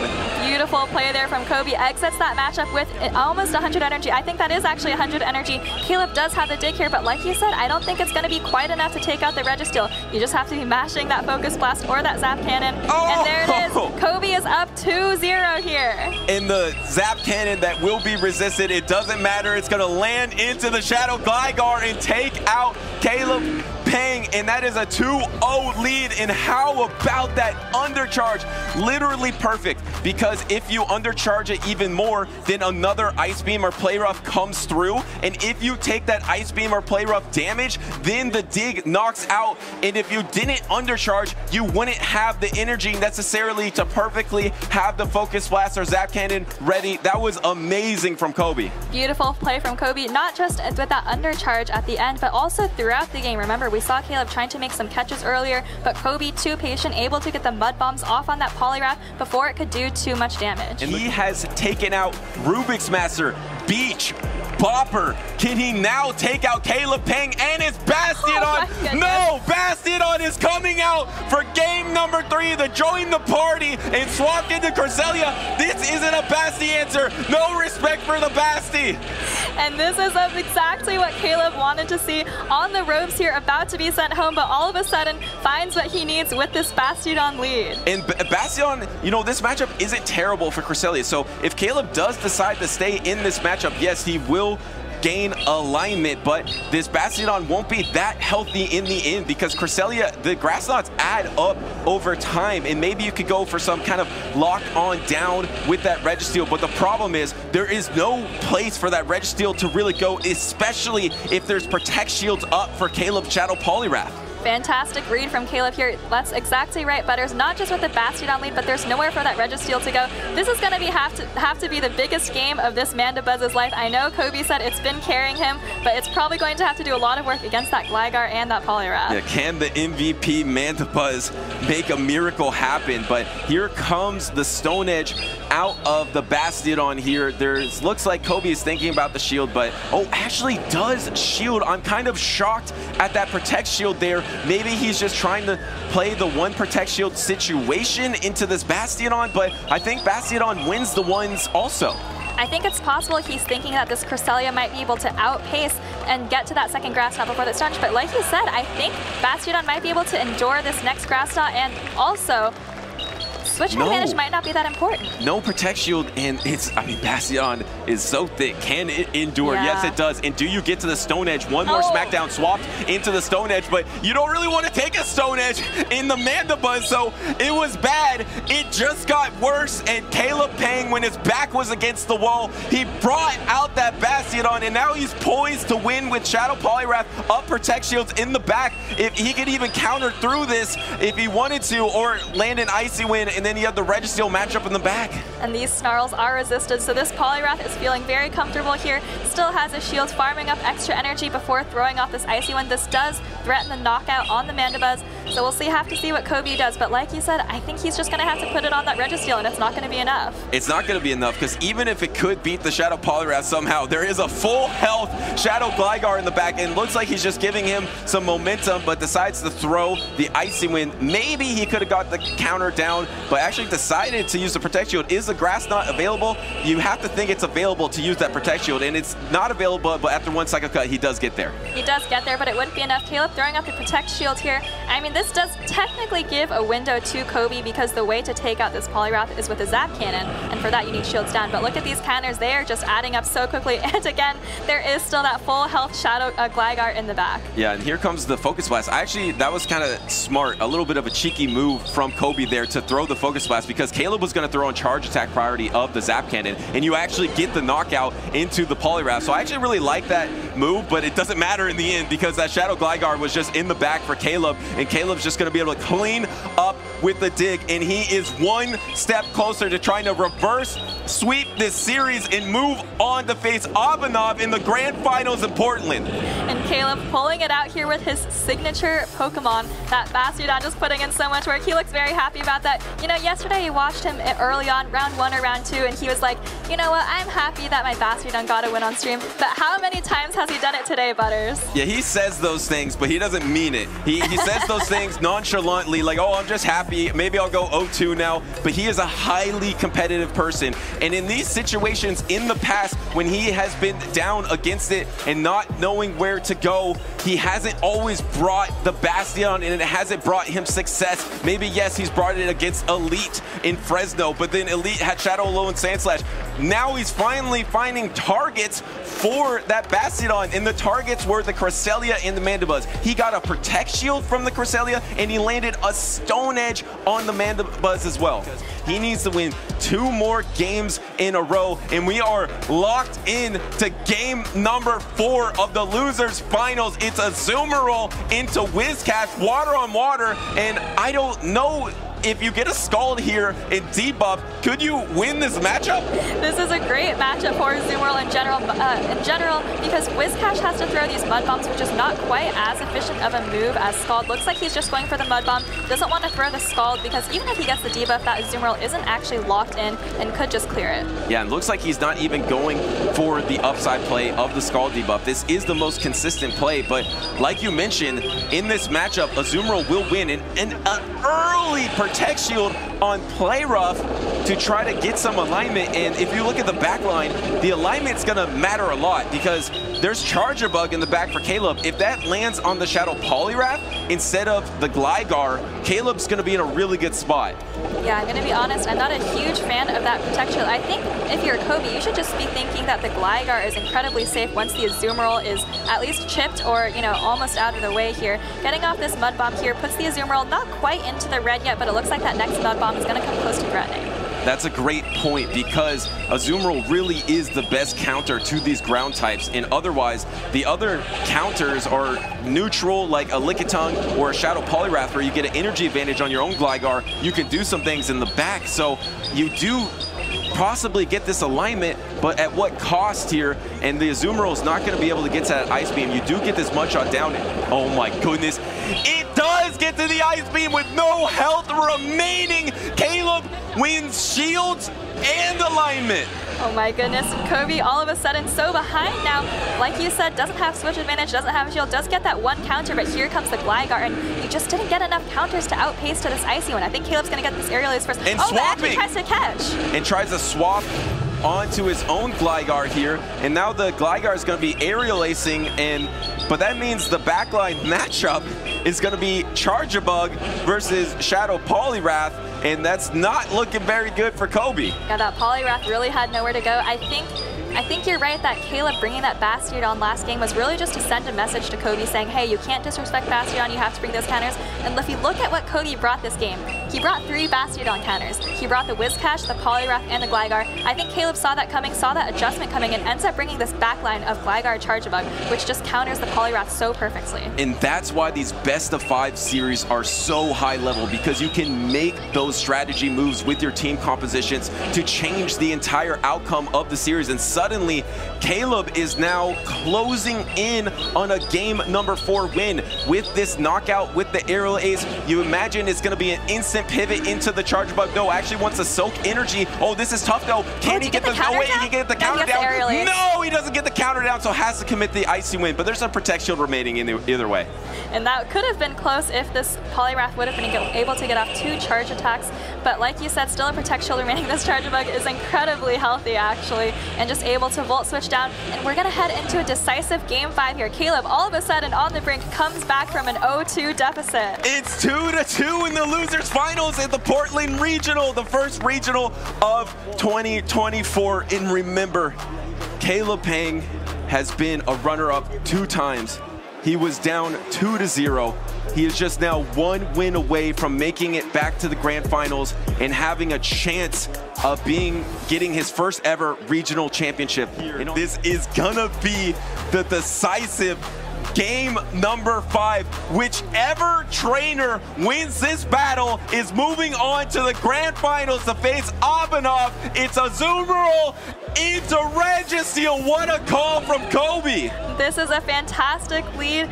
Resists all of Azumarill's charge attacks, and Caleb forced to swap out right away into a hard counter that Gligar, but Kobe doesn't have a great answer. He's gonna stay in, maybe take a charge move, maybe try to throw a Zap Cannon. Oh no, and the dig is gonna be coming out, so now you're gonna have to either give up a Protect Shield, you give up a Protect Shield on this safe swap, and are you gonna go for the Zap Cannon? You need to get some sort of advantage for your Whiscash or your Cresselia in the back. Also, if you come in on your Whiscash, these lock-ons didn't do enough damage, you need to put this in Scald range. The Zap Cannon does put this Gligar in Scald range, but you decided to swap to Cresselia instead because it's getting close to Grass Knot range. It is in Grass Knot range. That's going to be a great efficient use of energy here, but Cresselia needs to come out of this with a lot of energy because if Caleb comes back in with the Azumarill, you want to be able to get off as many Grass Knots as you can. And here comes the Cresselia with the energy, but over farming, getting nearly to 100 energy there before throwing the Grass Knot into this Shadow Gligar. And Caleb actually protects shields the Grass Knot. One Psycho Cut away from the next one. Throwing charge attack priority. No, Caleb doesn't throw. He double shields his Gligar. Caleb's investing a lot into this Gligar. I have to, I was wondering if he lost count, but it looks like that's exactly what he wanted. He leaves that matchup, saves all the energy, and comes into this Charjabug. I like this play from Caleb a lot. He recognizes that those switch clocks are so misaligned. Kobe can't actually switch yet into his Whiscash. Incredibly misaligned here, but you're just letting the Cresselia go. So now the Cresselia goes down. Does it go down? No, it oh, hangs on side. with one health. That is a huge break from Kobe They're able to endure the X-Scissor and repay it with a future sight before you go down. Kobe brings in that Whiscash straight away here. Caleb trying to fire off this X-Scissor, and maybe trying to stall the switch clock just a little bit, but Kobe is just going to need to be over farming here. And remember, we had we started this game with Registeel versus Azumarill. Those Pokemon are still alive, but Caleb also saved that Shadow Gligar with some energy. But that is destined to be the backline matchup, and this Whiscash is just farming up a bunch of energy. Could have thrown a Mud Bomb or a Scald. Maybe you needed the Scald to knock out, but instead took the X Scissor, and now you're almost at your switch timer, maybe about five seconds away, so you can't swap out quite yet. Throwing the Mud Bomb to knock out Caleb Peng's bug, but you can't come in with the Gligar because that doesn't want to soak any energy. So you come in with the Azumarill. Can you do enough damage with Gligar to weaken the Registeel? Well, Caleb's going to come in with the Azumarill. I think he threw a Mud Bomb, and that puts it into... Oh my goodness, oh. actually throws a Scald. Maybe expecting the Gligar to come in, but either way, I think the Scald almost puts the Azumarill into lock-on plus Zap Cannon range. Risky play here, swapping in the Registeel, counter swapping into the Gligar. Wait, can Gligar double dig? If Gligar can double dig here, that could be a wrap. I mean, the Protect Shield is going to be coming up at some point. There is no Protect Shield on the first one. Maybe he's thinking it would be a bait. It's not a bait. It's the dig. And actually throwing Aerial Ace at oh Aerial Ace energy, and Kobe Protect Shields it anyway. Pulls the shield. This Registeel is going to be able to get to a charge attack, but it's getting dangerously low after that dig landed. Here comes the Focus Blast, but I think the Azumarill is still out of Zap Cannon range, and I think it's going to be able to get through this Registeel with Bubbles and a resisted charge attack. That's the biggest question, Soph. Is this Registeel in range of Play Rough? Caleb Peng needs to knock out with a resisted Play Rough to have a chance of going on to the grand finals. It all comes down to this. Will Azumarill do it? And does he knock out the Registeel? Yes! He knocks out the Registeel. Now he's just moments away from getting to the Ice Beam. He is there with one more bubble. And Caleb Peng is moving on to the grand finals to face Abhinav. What a run by Caleb, coming back from that 0-2 deficit, getting the reverse sweep there, coming out of a terrible lead, by the way, with Azumarill into Registeel, but just got that momentum back in the mid-game with that safe swap. That was amazing with the safe swap Gligar. Not only did he get a Protect Shield from the Registeel, then he double shielded Grass Knots. I know Caleb pretty well. I've watched him compete a lot. I've talked to him a lot about Pokemon Go. That was some high-level play that I didn't see where he was going with it to hang on to that Gligar. He knew that his destiny was going to be an Azumarill Registeel backline matchup, and he needed that Gligar around to have a chance in this game. He double invested in it, and it worked off. He pulled off the reverse sweep to move it on to the grand finals. That was some incredible play by Caleb. Like you said, investing in that Gligar. I think he knew that that Gligar was going to be key to taking out that Registeel, and indeed it was. We saw it land a dig later, which really paved the way for the Azumarill to close out that game. And Thank you so much so for the introduction. She's right. I am joined by both Caleb and Abhinav for the grand finals. How are you both feeling, starting with Abhinav? I feel elated. Uh, I've exceeded all my expectations. My goal, honestly, was top three, which is like already such a crazy goal to begin with. And being in grand finals, not having dropped a set yet, it feels really amazing. I feel blessed. Caleb? Uh, yeah, uh, I mean, I'm surprised I'm here. I, I would have loved another shot at a championship title, but there's a lot of really competitive people here, and I, I didn't think I would have made it this far, especially after losing to Rubix on day number one. But I'm very excited to be here, and honestly, I'm pretty excited even if I take second here. And what we've been doing here back behind the caster booth and in the caster uh, lounge as well is we try to build stories. And Abhinav, you've talked a lot about what it means to be representation for India here in the Pokemon Go Championship Series. How does it feel and what does it mean to you to be here in the grand finals? Oh, that's a tough question. Um, it obviously means a lot. Um, it, it feels like kind of like a burden of responsibility, but also a great honor to like have so people from like such a massive country supporting me. All the DMs I get from people like you got this, India's rooting for you. Um, all the people from India who helped me practice. Like yeah, I, I wouldn't be where I am today if it wasn't for like the Indian community. A um, lot of friends I've made there. I spent like I grew up in India first of all, but even like I was there recently. The PvP community there is like growing and not just that, even like Chicago, like the the friends I've made in Chicago for like five years, uh, the entire journey I've been on doing solo Silph, uh, and then switching to play Pokemon. This feels like a culmination of it all. So yeah, it feels amazing. Thank you for that response. And Caleb, you're from the United States, so not quite the same question to you, but you are two for two in making it from top cut into second place. What does it mean to you to have a shot to go for number one here? Yeah, I mean, for me personally, it doesn't.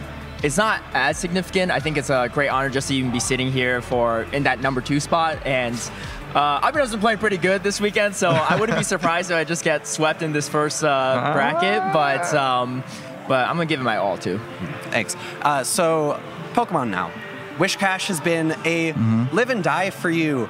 Are you feeling confident with your chance to get skull debuffs here in the grand finals? Now, honestly, I'm just gonna throw mud bomb and just avoid the skull entirely. no, uh, jokes aside, um, yeah, like you live by the skull, die by the skull, but the just the damage output of Scald itself is like so prominent that yes, the debuff would be amazing. And there have been a couple games where I wished I got the debuff and didn't. Couple games I was super lucky to get the debuff, but debuffs and buffs aside, like I think Whiscash is a great uh, mon in the meta right now. It's so flexible, so safe into most teams, so threatening with an energy lead, and yeah, I've been loving it. And to you, Caleb, the double weakness again, Bastiodon, live and die by it. How do you feel about Bastiodon here? And I know you've been kind of using it, not using it in different battles. How, how are you feeling about Bastiodon here? Yeah, I mean, I feel great. I mean, there were so many games where, uh, like game three, just uh, when I was down 0-2, I was just like, you know what? Bastiodon or bust, and uh, it worked out, and I was able to kind of reverse sweep. So it's been really good, and honestly, there's a lot of Cresselia, a lot of Lickitung, and just way better than Carbink in those matchups. Definitely. Uh, as we're wrapping up this interview, any people that you'd like to shout out now that you he- are here on your way to the grand finals, scrim partners, people who you've helped uh, team build with, anyone else that you know is going to be watching back at home? That's a super difficult question because I feel if I try to name people one by one, I would obviously leave out some people because so many people have helped me on this journey and I, I would not want to hurt people like that. So I'll just say all the friends who've helped me in Pokemon Go battles, all the people who sent me even a s- small wish of good luck, friends, family outside Pokemon Go who kept my spirits up. I just graduated college, so um, Congratulations. it- thank you, thank you. It's, uh, I, it, I wouldn't be here where I am without every little person I've talked to over like the last few years of my life. So, yeah, people, the, the people in my life who know they are, they know that I'm super grateful. And to you, Caleb? Um, yeah, I shout out some people earlier, but again, shout out to Hard Jeff, uh, who did some scrims and uh, practice with me, as well as Anacore, IV Pips last second, uh, a lot of my teammates, uh, Ramberto and Kimmy Sui, and the Cool Cats, um, and just shout out to my family, friends, and loved ones who've been supporting me throughout. All right. Well, thank you both so much for this wonderful interview. Good luck in the grand finals and get out of here. Get back to the stage. We got some action for you. Take it away, casters. So he has to be feeling pretty good. But let's take one last look at Abhinav's accomplishments and his team. This is actually his first top cut ever. And I want to point out, he competed a lot in 2022, and he had multiple ninth place appearances, so losing in the losers finals. And then I believe he was ninth place in the India qualifiers as well. So he was so close to getting top cut. And this time he is top cut, which I'm just going to say it now. This might be the team that everyone copies. He copied the iteration from Wadaj. He made it better. His words, not mine. I think it is better though. And so I feel like other trainers might be using this team as a template for future tournaments. That's right. It's like the next evolution of that meta team, and it could be exactly right what trainers kind of look to as their model. We saw some trainers looking at Dunebug's team from the last tournament, and here we have Caleb Peng on the other side, standing in Abhinav's way. We did just see those accomplishments. Again, he's been second place twice before, and I want to also call out Caleb's consistency. He's only played in three tournaments before this, and he was second place in two of them. This is actually Right. only his fourth tournament ever. He's again in his third grand finals. 75% chance at the grand finals. That's a better chance than Zap Cannon. So well done to Caleb Peng there. And of course, he is bringing that signature Pokemon Bastion. I'm really interested to see how much it is deployed here because if you look at the counters from Abhinav, he has Vigoroth, he has Whiscash, he has Gligar. Azumarill, there is play for Bastion because there is no Hydro Pump available. And even, I think you mentioned, there is some play against Gligar as well, but you just don't want to finish out that matchup because eventually Gligar usually gets that third dig. That's absolutely right. And looking at these teams of six, I think they both have some flexible options here. It's not just going to be Bastiodon or Buzz. Oh, there it is! there it is! The start off the grand finals. It's the Bastiodon into the Charjabug, instant pivot into Whiscash, met by the Shadow Poliwrath. It looks like Abhinav did get a little bit of an energy advantage, but how much is that going to matter? Like he said, he's just going for mud bombs now. He doesn't need the skull bait. Wait, wait a second. Actually protectioning this because I know one thing. Bastiodon doesn't need a single Protect Shield against Charjabug, so you might as well use them with the Shadow Poliwrath. And I think Caleb is thinking perhaps that first Mud Bomb will do a little bit more damage if he hits the Scald debuff here. The good news for Abhinav, though, is unlike Caleb's past opponents, he's actually not ABA weak to the Bastion. He's just A weak.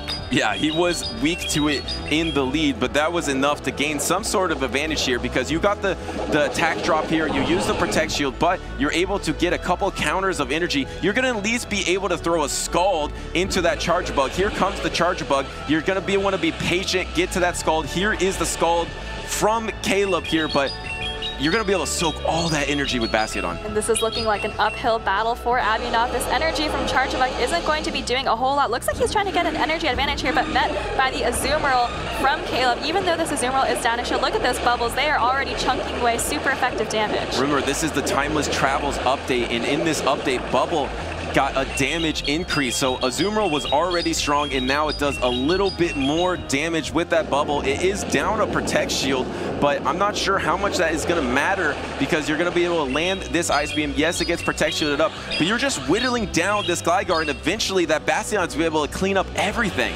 I think that's exactly right. Look at how low this Gligar is, and Azumarill still has a shield. Getting the last Protect Shield from Abhinav here probably with this Ice Beam, but even if Abhinav is able to get through this Azumarill, I think that Bastiodon is just going to be able to smack down down. Yeah, and I uh, one dig is not going to even knock out a Bastiodon here, so it's going to be able to soak that up if it comes down to it. Looks like Caleb's going to just save that Protect Shield for the Bastion. You had two options there. You could have tried to get some more bubbles off, and they actually do endure, so you do get one more bubble off. That's nice for Caleb. I'm sure he's going to bring in the Bastion. Here comes the Bastion. I don't think you get the double dig, so that's why you're trying to bait with the aerial ice so you can maybe get to a dig, but I don't know if you get to a dig. Yeah, I think he's going to get to a dig now, though, thanks to that bait barely able to get there. Maybe on CMP do go for catch. Oh, oh he tries to catch it. It's a simultaneous swap. Abhinav saw it coming. He swapped at the same time. Kayla swapped, and suddenly it's not over. You need to land a discharge, though. Can you get double discharge? It looks like the damage registered. I think you get double discharge here. Well, you get the discharges, but doesn't the Gligar also have a dig loaded? Does this yeah. discharge put the Bastion into No, you get double discharge. You get double discharge, and now the double discharge, it has to be in dig range now, right? This is a Shadow Gligar. It's double super effective. I think Bastion is going to be going down. It's cap. Charge attack priority. I don't think Bastion can endure. And Bastiodon is an incredibly tanky Pokemon, but actually does faint to that dig. And Abhinav wow. out of nowhere taking that first game. Incredible patience from Abhinav, knowing that Caleb needed to swap to avoid that dig. Swaps at the exact same time, gets that Volt Switch on the swap, and he actually needed that Volt Switch, I think, to land the double discharge. I'm not sure if one discharge would have put Bastiodon in range of dig.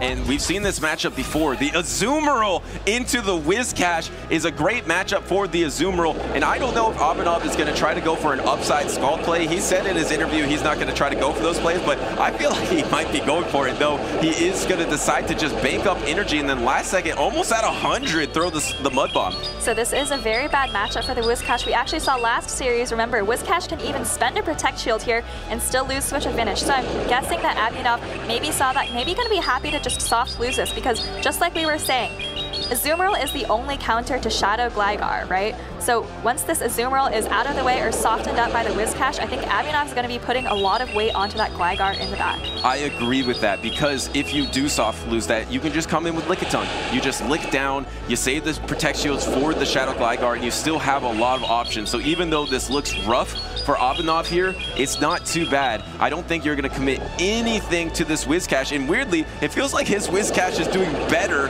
than Kobe's Whiscash was doing in that opener of last series. Caleb just throwing off this Ice Beam here. I don't think this is quite enough to KO, but maybe just looking to get... Oh, actually it is. Yeah, that was a nice Ice Beam there.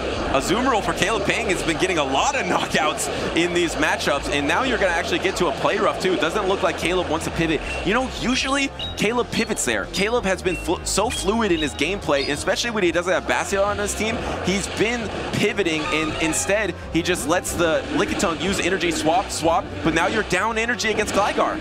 Yeah, I think, you know, Caleb normally would pivot there, but perhaps recognizing how good that Gligar is, and he risked bringing that Charjabug in the back, which we know is so uh, terrible in its matchup against Gligar, so potentially didn't want to give that up. Caleb is in a tough position for two reasons. One, he's down energy in this mirror matchup. Two, Lickitung beats Charjabug neutrally. I don't know how he comes out of this. He is down in two matchups, the matchup in front of him and the matchup in the back, and he just used his first Protect Shield of the game on Aerial Ace. And it's looking good for Abhinav. Like you said, I think Abhinav has the advantage in not only in this particular matchup, but also in that backline matchup. Like we said, only even though the lead was bad, it's not a one versus one game. It's three versus three. And I think Abhinav's backline really counters Caleb's here. And here comes the aerial ace. Abhinav is thinking, does he go for his last protect shield of the game? He does go for it. Now the timer is almost up. No, it's not quite up yet, but maybe about 10 more seconds. You could throw the aerial ace there, but wow, wait a second. Now suddenly Caleb is to have an extra protect shield with the Charjabug. This is almost to knock out. Do you swap? Try to get a volt switch through. Wait a second. It did knock out.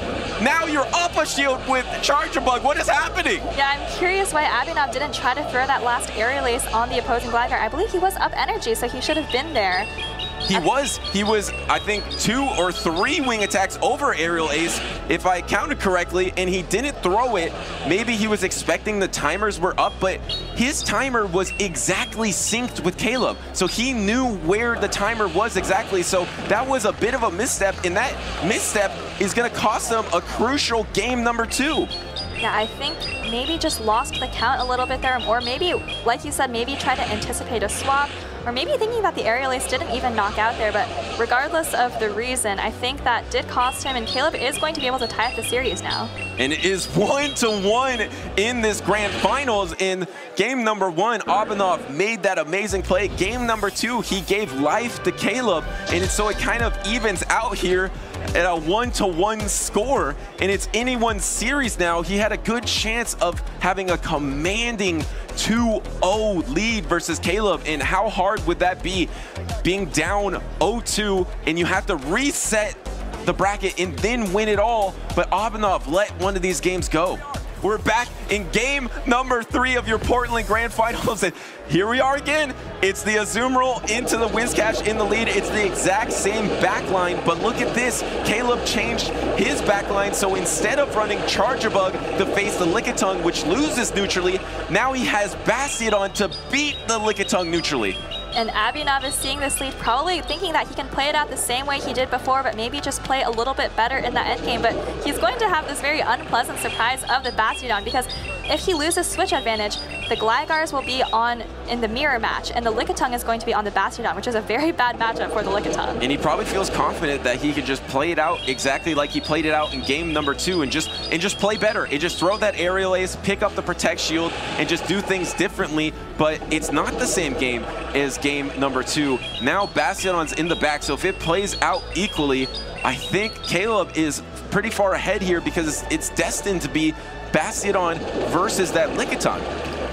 I think that's exactly right. That's what we might see end up happening. Remember last game, this Ice Beam took out the Whiscash, and Abhinav is probably just going to bring in the Lickitung here, maybe try to throw a Body Slam. I don't think we're going to see... Oh, Caleb actually pivots out, though. Wow, I, I, was saying this last game that usually Caleb pivots, and this time was the one time you have Bastiodon. I don't know if you pivot with Bastiodon, but that is why Caleb is a unique Bastiodon player because it's not all about alignment for him. He just wants to play the game fluidly, and he thinks Bastion is a very strong neutral pick, and he got the swap he wanted anyway. The patience trying to catch a dig, but catches an aerial ace instead. And Caleb, I think, wanted to save that Azumarill for this Gligar he might have been anticipating, but now the problem is I don't think Abhinav knows there's a Bastiodon. He doesn't know just how valuable this Gligar is. That Lickitung isn't going to be able to finish it off, and unfortunately this Gligar is locked in here. It's getting very, very deep into the red, almost getting wing attacks down here. And even if he didn't think Bastion is in the back, it would actually, if Abhinav thought it was Charjabug in the back, I'm surprised he did bring in that Gligar, because Gligar would have been so strong against that Charjabug in the back, as Caleb does secure the knockout. This Lickitung is going to be able to lick down, but no, actually doesn't even lick down because the aerial ace is coming out and Lickitung's going to be too low or use a Protect Shield, and you got a full Bastion on in incoming. And Butters, we've said it before, Abhinav kind of chuckling when he sees this Bastion, but Lickitung is not a closer, right? It doesn't have the charge attack pressure that you need. Even though there are two shields up here, I don't think there's a single Pokemon in the backline that it could have been where this Lickitung would have been in a winning position. Yeah, trying to go for the bait here on that body slam. It doesn't pay off. Caleb knew it as soon as he brought Bastion up. He kind of looked at Abhinav, looked at the crowd, knew it was a GG because his favorite Pokemon is going to give him a two to one advantage in these grand finals with just a couple more Smackdowns didn't even need to use that Azumarill that he saved. And I think Abhinav, you know, maybe a little bit detached from the end of that game here, doesn't want to see the Bastiodon taking out his Lickitung and potentially just starting to plan out for this game four. Do see, oh my goodness, Lickitung into a Bastiodon, just how the last game ended. And two Bastiodon counters in the back, so swapping in the Whiscash meant by the Poliwrath.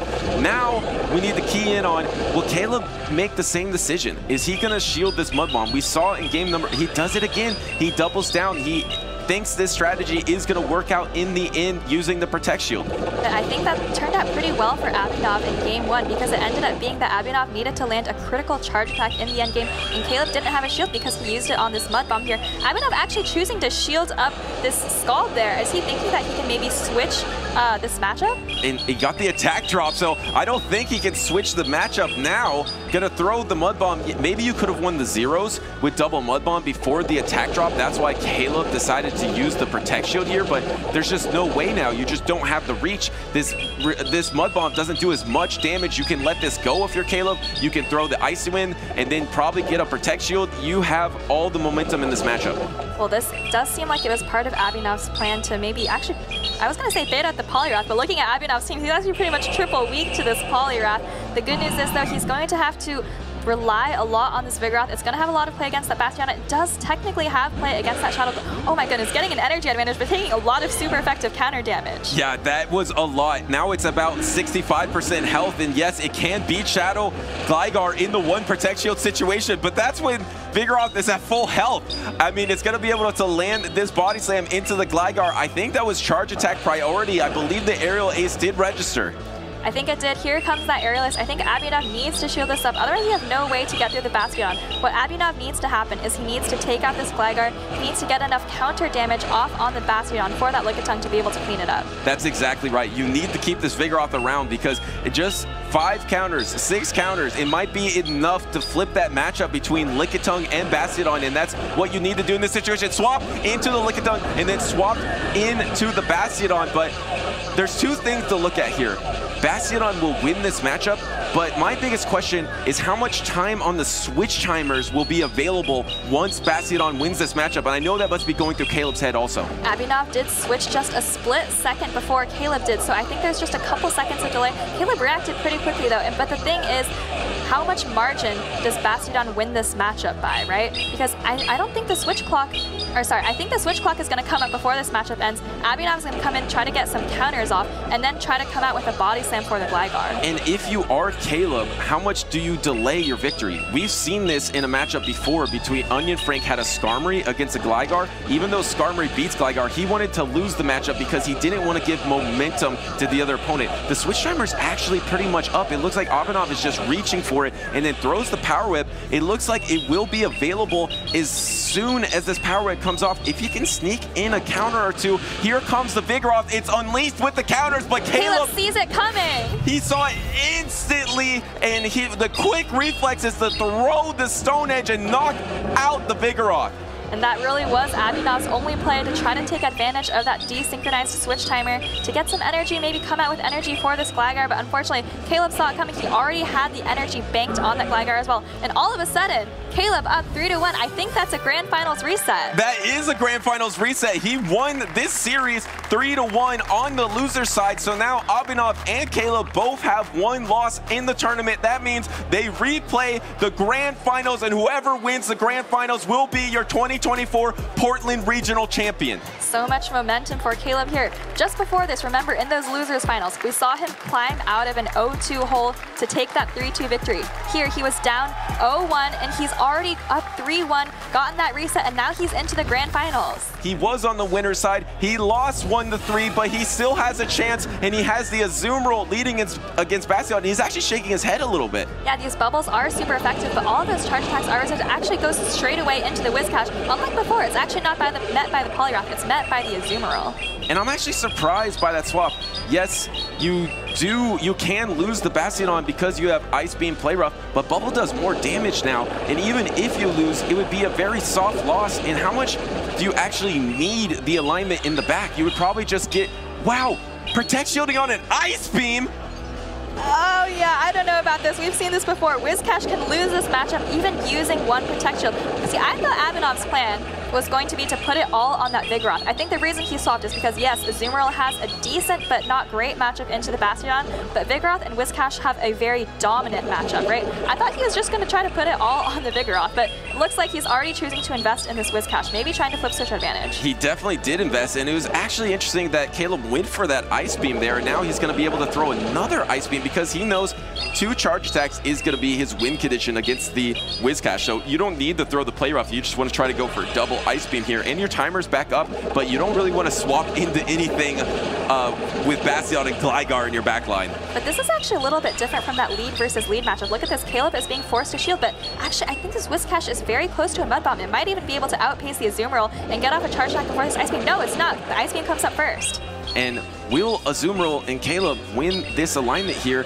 Abhinav is just going for it. He's doubling down. He's trying to take out that Bastion in the back with the Vigoroth. I think he can do it. He just has to get the double Mud Bomb. Here's the first Mud Bomb. And I feel like Caleb's going to let this go or either shield and swap because you can't win the alignment. You just got to let it go. He's got to oh, swap. he shields, but he has the double already. He has does the double. Swap? What does, he, he do? He has to oh swap oh God, somewhere. He no, Go. he lets it go. A rare mistake from Caleb there. I don't know if he knew he was at the double, but Abhinav, we thought it was a strange play, but he won swap.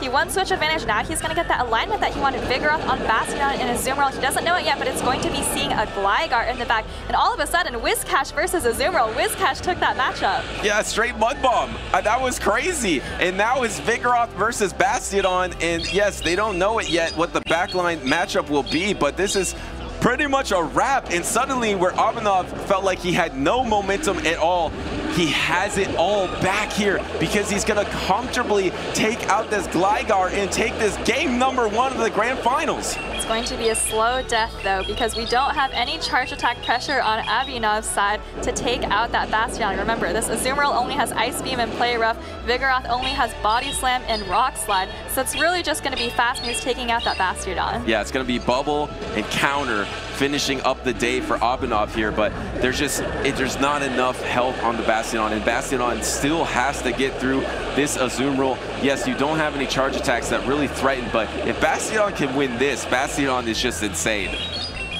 As bubbles are adding up, almost at parity in terms of health with this Azumarill once the bubble lands. But remember, we've still got that Vigoroth in the back on the side of Abhinav. I mean, I think what Caleb would need to do here is build up to two stone edges and he threw on charge attack priority, and that's not what Caleb was looking for there. He was trying to land that Stone Edge before to try to land the Stone Edge into the Vigoroth, and now you're just going to be way too low because you can't bank double Stone Edge if you are Bastion. You just don't have the energy capabilities because you cap out at 100 energy. So one counter, Oh, Rock Slide instead of the extra counter. Rock Slide is going to knock out Caleb Peng, and Abhinav has all those momentums back. He is up 1 to 0 against Caleb Peng. It looks like Abhinav found the recipe. Remember, we saw those games earlier. He played Whiscash into a Zoomer lead, I believe, twice, and lost that game, lost that matchup as well. But all of a sudden here, Whiscash on the safe swap, just up a little bit of energy, was actually able to flip the twos against Azumarill. Bastion on once again versus Shadow Gligar, safe swap into his own Shadow Gligar.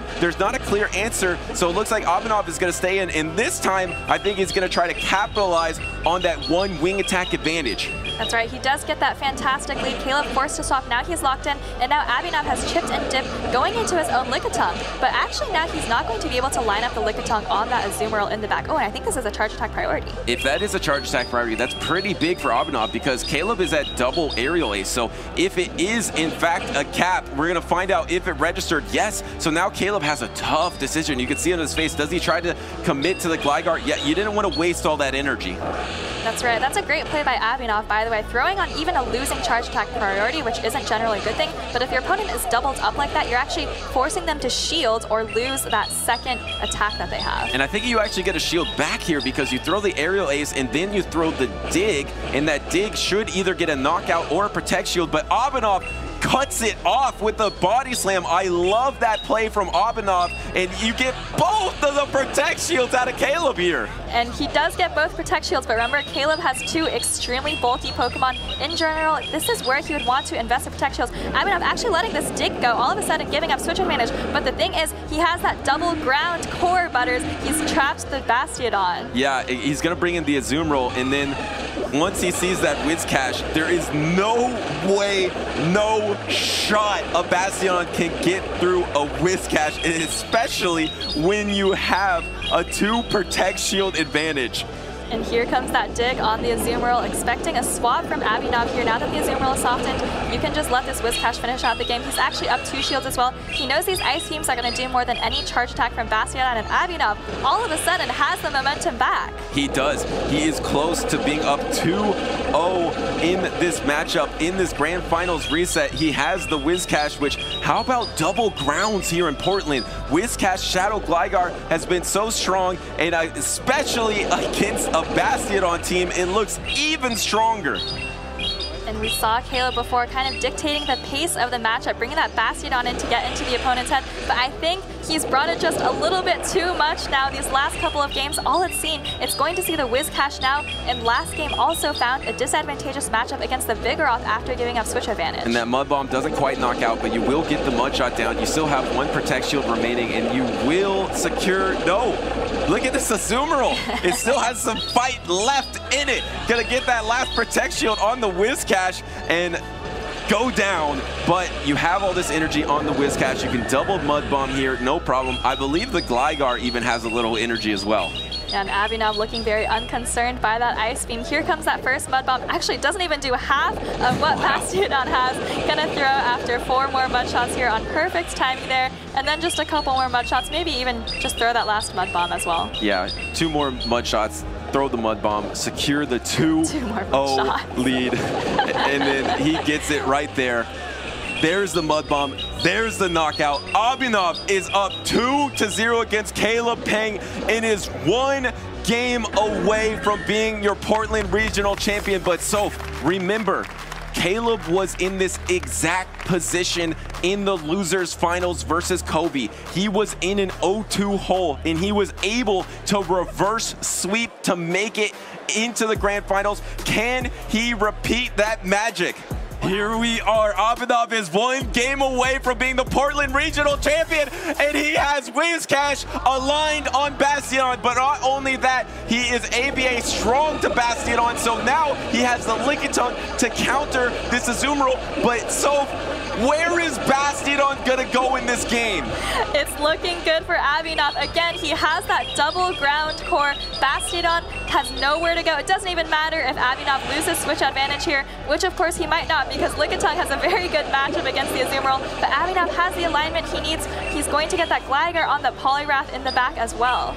I mean, calling the body slam bait might be big for Caleb here. If he can somehow get some Protect Shields, his only opportunity here is a Protect Shield advantage with Shadow Poliwrath in the back. I don't know how he's going to get that, especially since he just used the Protect Shield. I don't know how he's going to get that advantage with Shadow Poliwrath in the back. Well, he might be he might be going for alignment here. He might be thinking, look, if it's the double ground core, I have very little play anyways. Azumarill can actually technically, I believe, win the two shield situation against Lickitung. Caleb might just be going for alignment here, hoping that that Bastiodon has a target in the back. And here comes the Power Whip. There's one Protect Shield remaining. If Caleb tries to call a Body Slam, it's going to be really tough for Caleb here. Does he try to call a Body Slam? He tries to call the Body Slam, and it's almost a knockout in Azumarill, so it comes down to fast attacks, and Lickitung wins with the one-turn fast attack. The no-health Lickitung holds on, and suddenly Abhinav has alignment and shield advantage.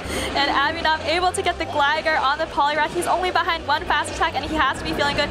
Caleb going for the catch here. Abhinav doesn't fall for it, brings in that Whiscash, and I think Abhinav knows he is going to take this 3-0 victory. There was nowhere for Bastion to go. The only place this Bastion can go is back in its Pokemon Because there's two ground types in the back for Abhinav. The boldness from Caleb Peng to bring the Bastion on against this double ground team. Abhinav decided to run ABA ground and it worked out. Caleb said he's living or dying by the Bastiodon, and you have to give him credit. This Bastiodon got him so far. It made such a difference in a lot of his matchups throughout his run. Unfortunately, not going to be quite able to get it in this grand finals, but you know what? Caleb got very far with this Pokemon that he hasn't brought a lot in the past. It's been very impressive to see him put the Bastion on the field. It has won him games, but in this scenario, in this meta where you have Gligar and Whiscash being number one and number two in usage in the top cut. It might have not been the opportunity, and Abhinav will be your Portland Regional Grand Champion. Congratulations to Abhinav, first time appearing in the top cut, taking out so many big names, coming in on the winner side of the bracket, fends off Caleb Peng after that grand finals reset. And it felt like Caleb had all the momentum after that grand finals reset. He was able to win three in a row after going down one game. And remember, Abhinav was really close to being up 2 to 0 in that first series. So he dropped that game number two, but and then dropped three games in a row. But I think you mentioned a little bit of a mental reset, and that really paid off. Let's take a look at the event winners right now.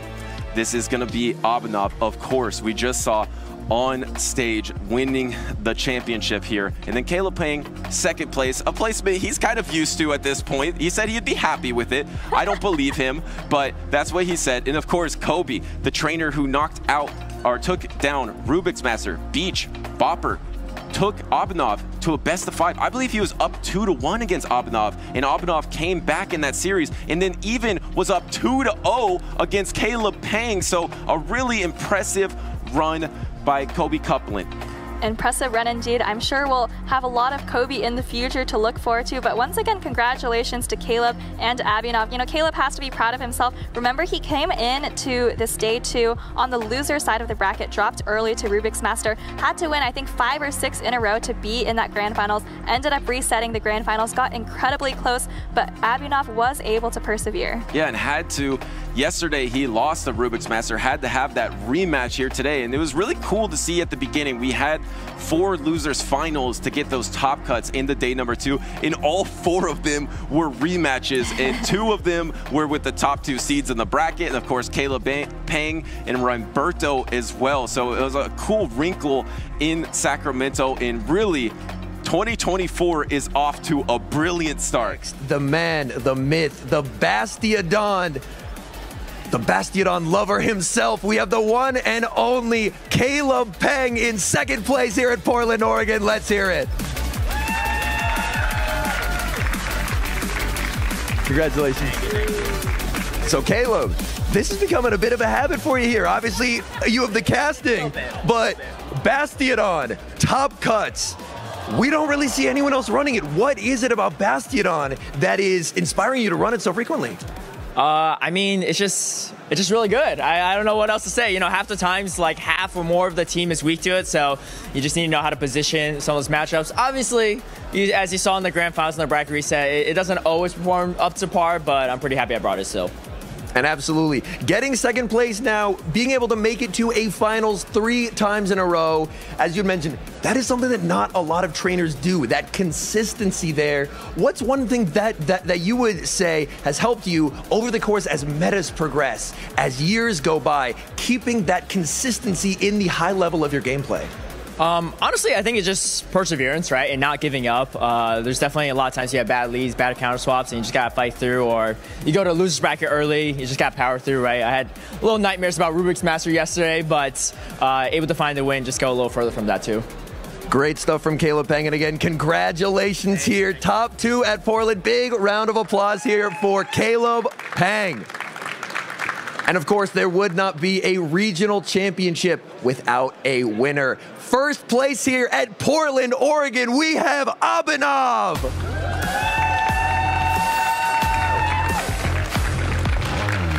Congratulations, amazing run. So Abhinav, I believe we had mentioned before that this was your first top cut in a regional, and you just won the whole thing.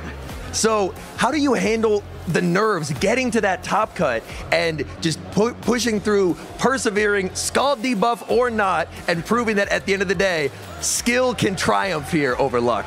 Um, yeah, it was definitely a lot of nerves. Um, I tried to stay calm. I think the one time the nerves got to me was in the first set of the grand finals where I didn't play the best after the first game, but if I might say one thing off topic, uh, I haven't done a lot of play Pokemon. I was in India, but I did do a lot of Silph before this was a thing, and um, any kind of a Pokemon experience, even if it isn't uh, play Pokemon, is really helpful. It really builds your skill set. So anyone out there watching, just load up the game and start playing. I think it helps. Practice makes perfect, absolutely. And I do want to talk you through, as you mentioned in that first set, set one, game number one. Loading into the grand finals here, seeing Charjabug into the Bastiodon, but fighting back against all odds and avoiding the catch there. Kind of talk me through the thought process there as you try and fight back from near impossible odds in that game. Yeah, I, I kept watching Caleb's games before, and he kept leading Bastiodon, and I told myself, don't be weak to Bastiodon lead, but I did it anyway. and and then I was like, okay, either I'm going to lose this game, or it's going to be the most epic win of all time. So I was just going for it, and um, I think I predicted the catch, and I was like, even if I even if he doesn't catch and I don't throw, I'll save the move and exit out anyway. But it all kind of worked out. I don't think I think I got kind of lucky at the end, but yeah, it worked out. Well, one thing that I do want to emphasize in that game as well was the end game mechanics.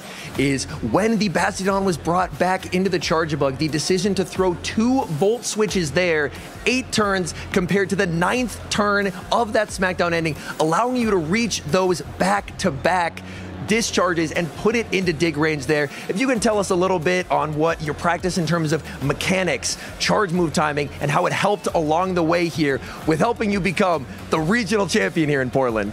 I mean, yeah, the funny thing is, um, two, three years ago, I was not the best at move timing. And like, uh, move timing is something that's big in the Indian community, and they would like rag on me for it all the time. Like, oh, Abhinav let through another move again. but um, yeah, it's something I've practiced a lot. I think it's a really crucial part of the game. And in that moment, I, I knew that I needed two discharges. I, I, I can go back and check, but I think Bastiodon would have lived a dig plus a discharge. So I was like, the only win condition is two volt switches, survive three smackdowns, back to back discharge, and it all happened thanks to move timing. So yeah. Amazing stuff. And finally, here, I imagine there will be quite a few people across the world here in the arena and across the world watching from a lot of places, and as well, India, as you mentioned, inspired by your gameplay here today. If you could say something to those trainers that you've inspired by your run to help urge them on to pick up Pokemon Go and start battling, what would that be? Um, that's a really tough question. All I would say is um, I joined the game late. I started playing like maybe two, three years after everyone else. There was a time when I had no Stardust. I had only like my my Azumarill was like 15, 15, 15, which is awful IVs. But practice makes perfect, like you said. Slowly got better at the game. Uh, played a lot of friends, locals, and yeah, the outcome is this. And I'm here on top of the world, feeling amazing. So just keep at it, I guess. Absolutely amazing stuff. And with this win, Abhinav has qualified for the World Championships in Hawaii later this year, adding his name to the echelon, to the record books here of the vaunted trainers so far this season who have gotten to qualify for Worlds. So again, a big round of applause for your 2024 regional champion for Portland, Abhinav. You're a great commentator. Thank you all for watching. I hope you enjoyed it. Of course, I did not play perfectly uh, all the way throughout by any means, so there's definitely a lot for myself to learn even reviewing this footage, but hopefully I made the games interesting for you all. And shout out to anyone that was cheering me on throughout the live stream or even share some kind words after the fact. Like I said, I'm going to break down all my strategy and my team compositions and why I built the team I did in a later video this week. So if you like this video, feel free to give it a like and share, subscribe for future content, hit that notification bell so you don't miss my next video regarding the strategy behind my team, and I'll catch you all next time.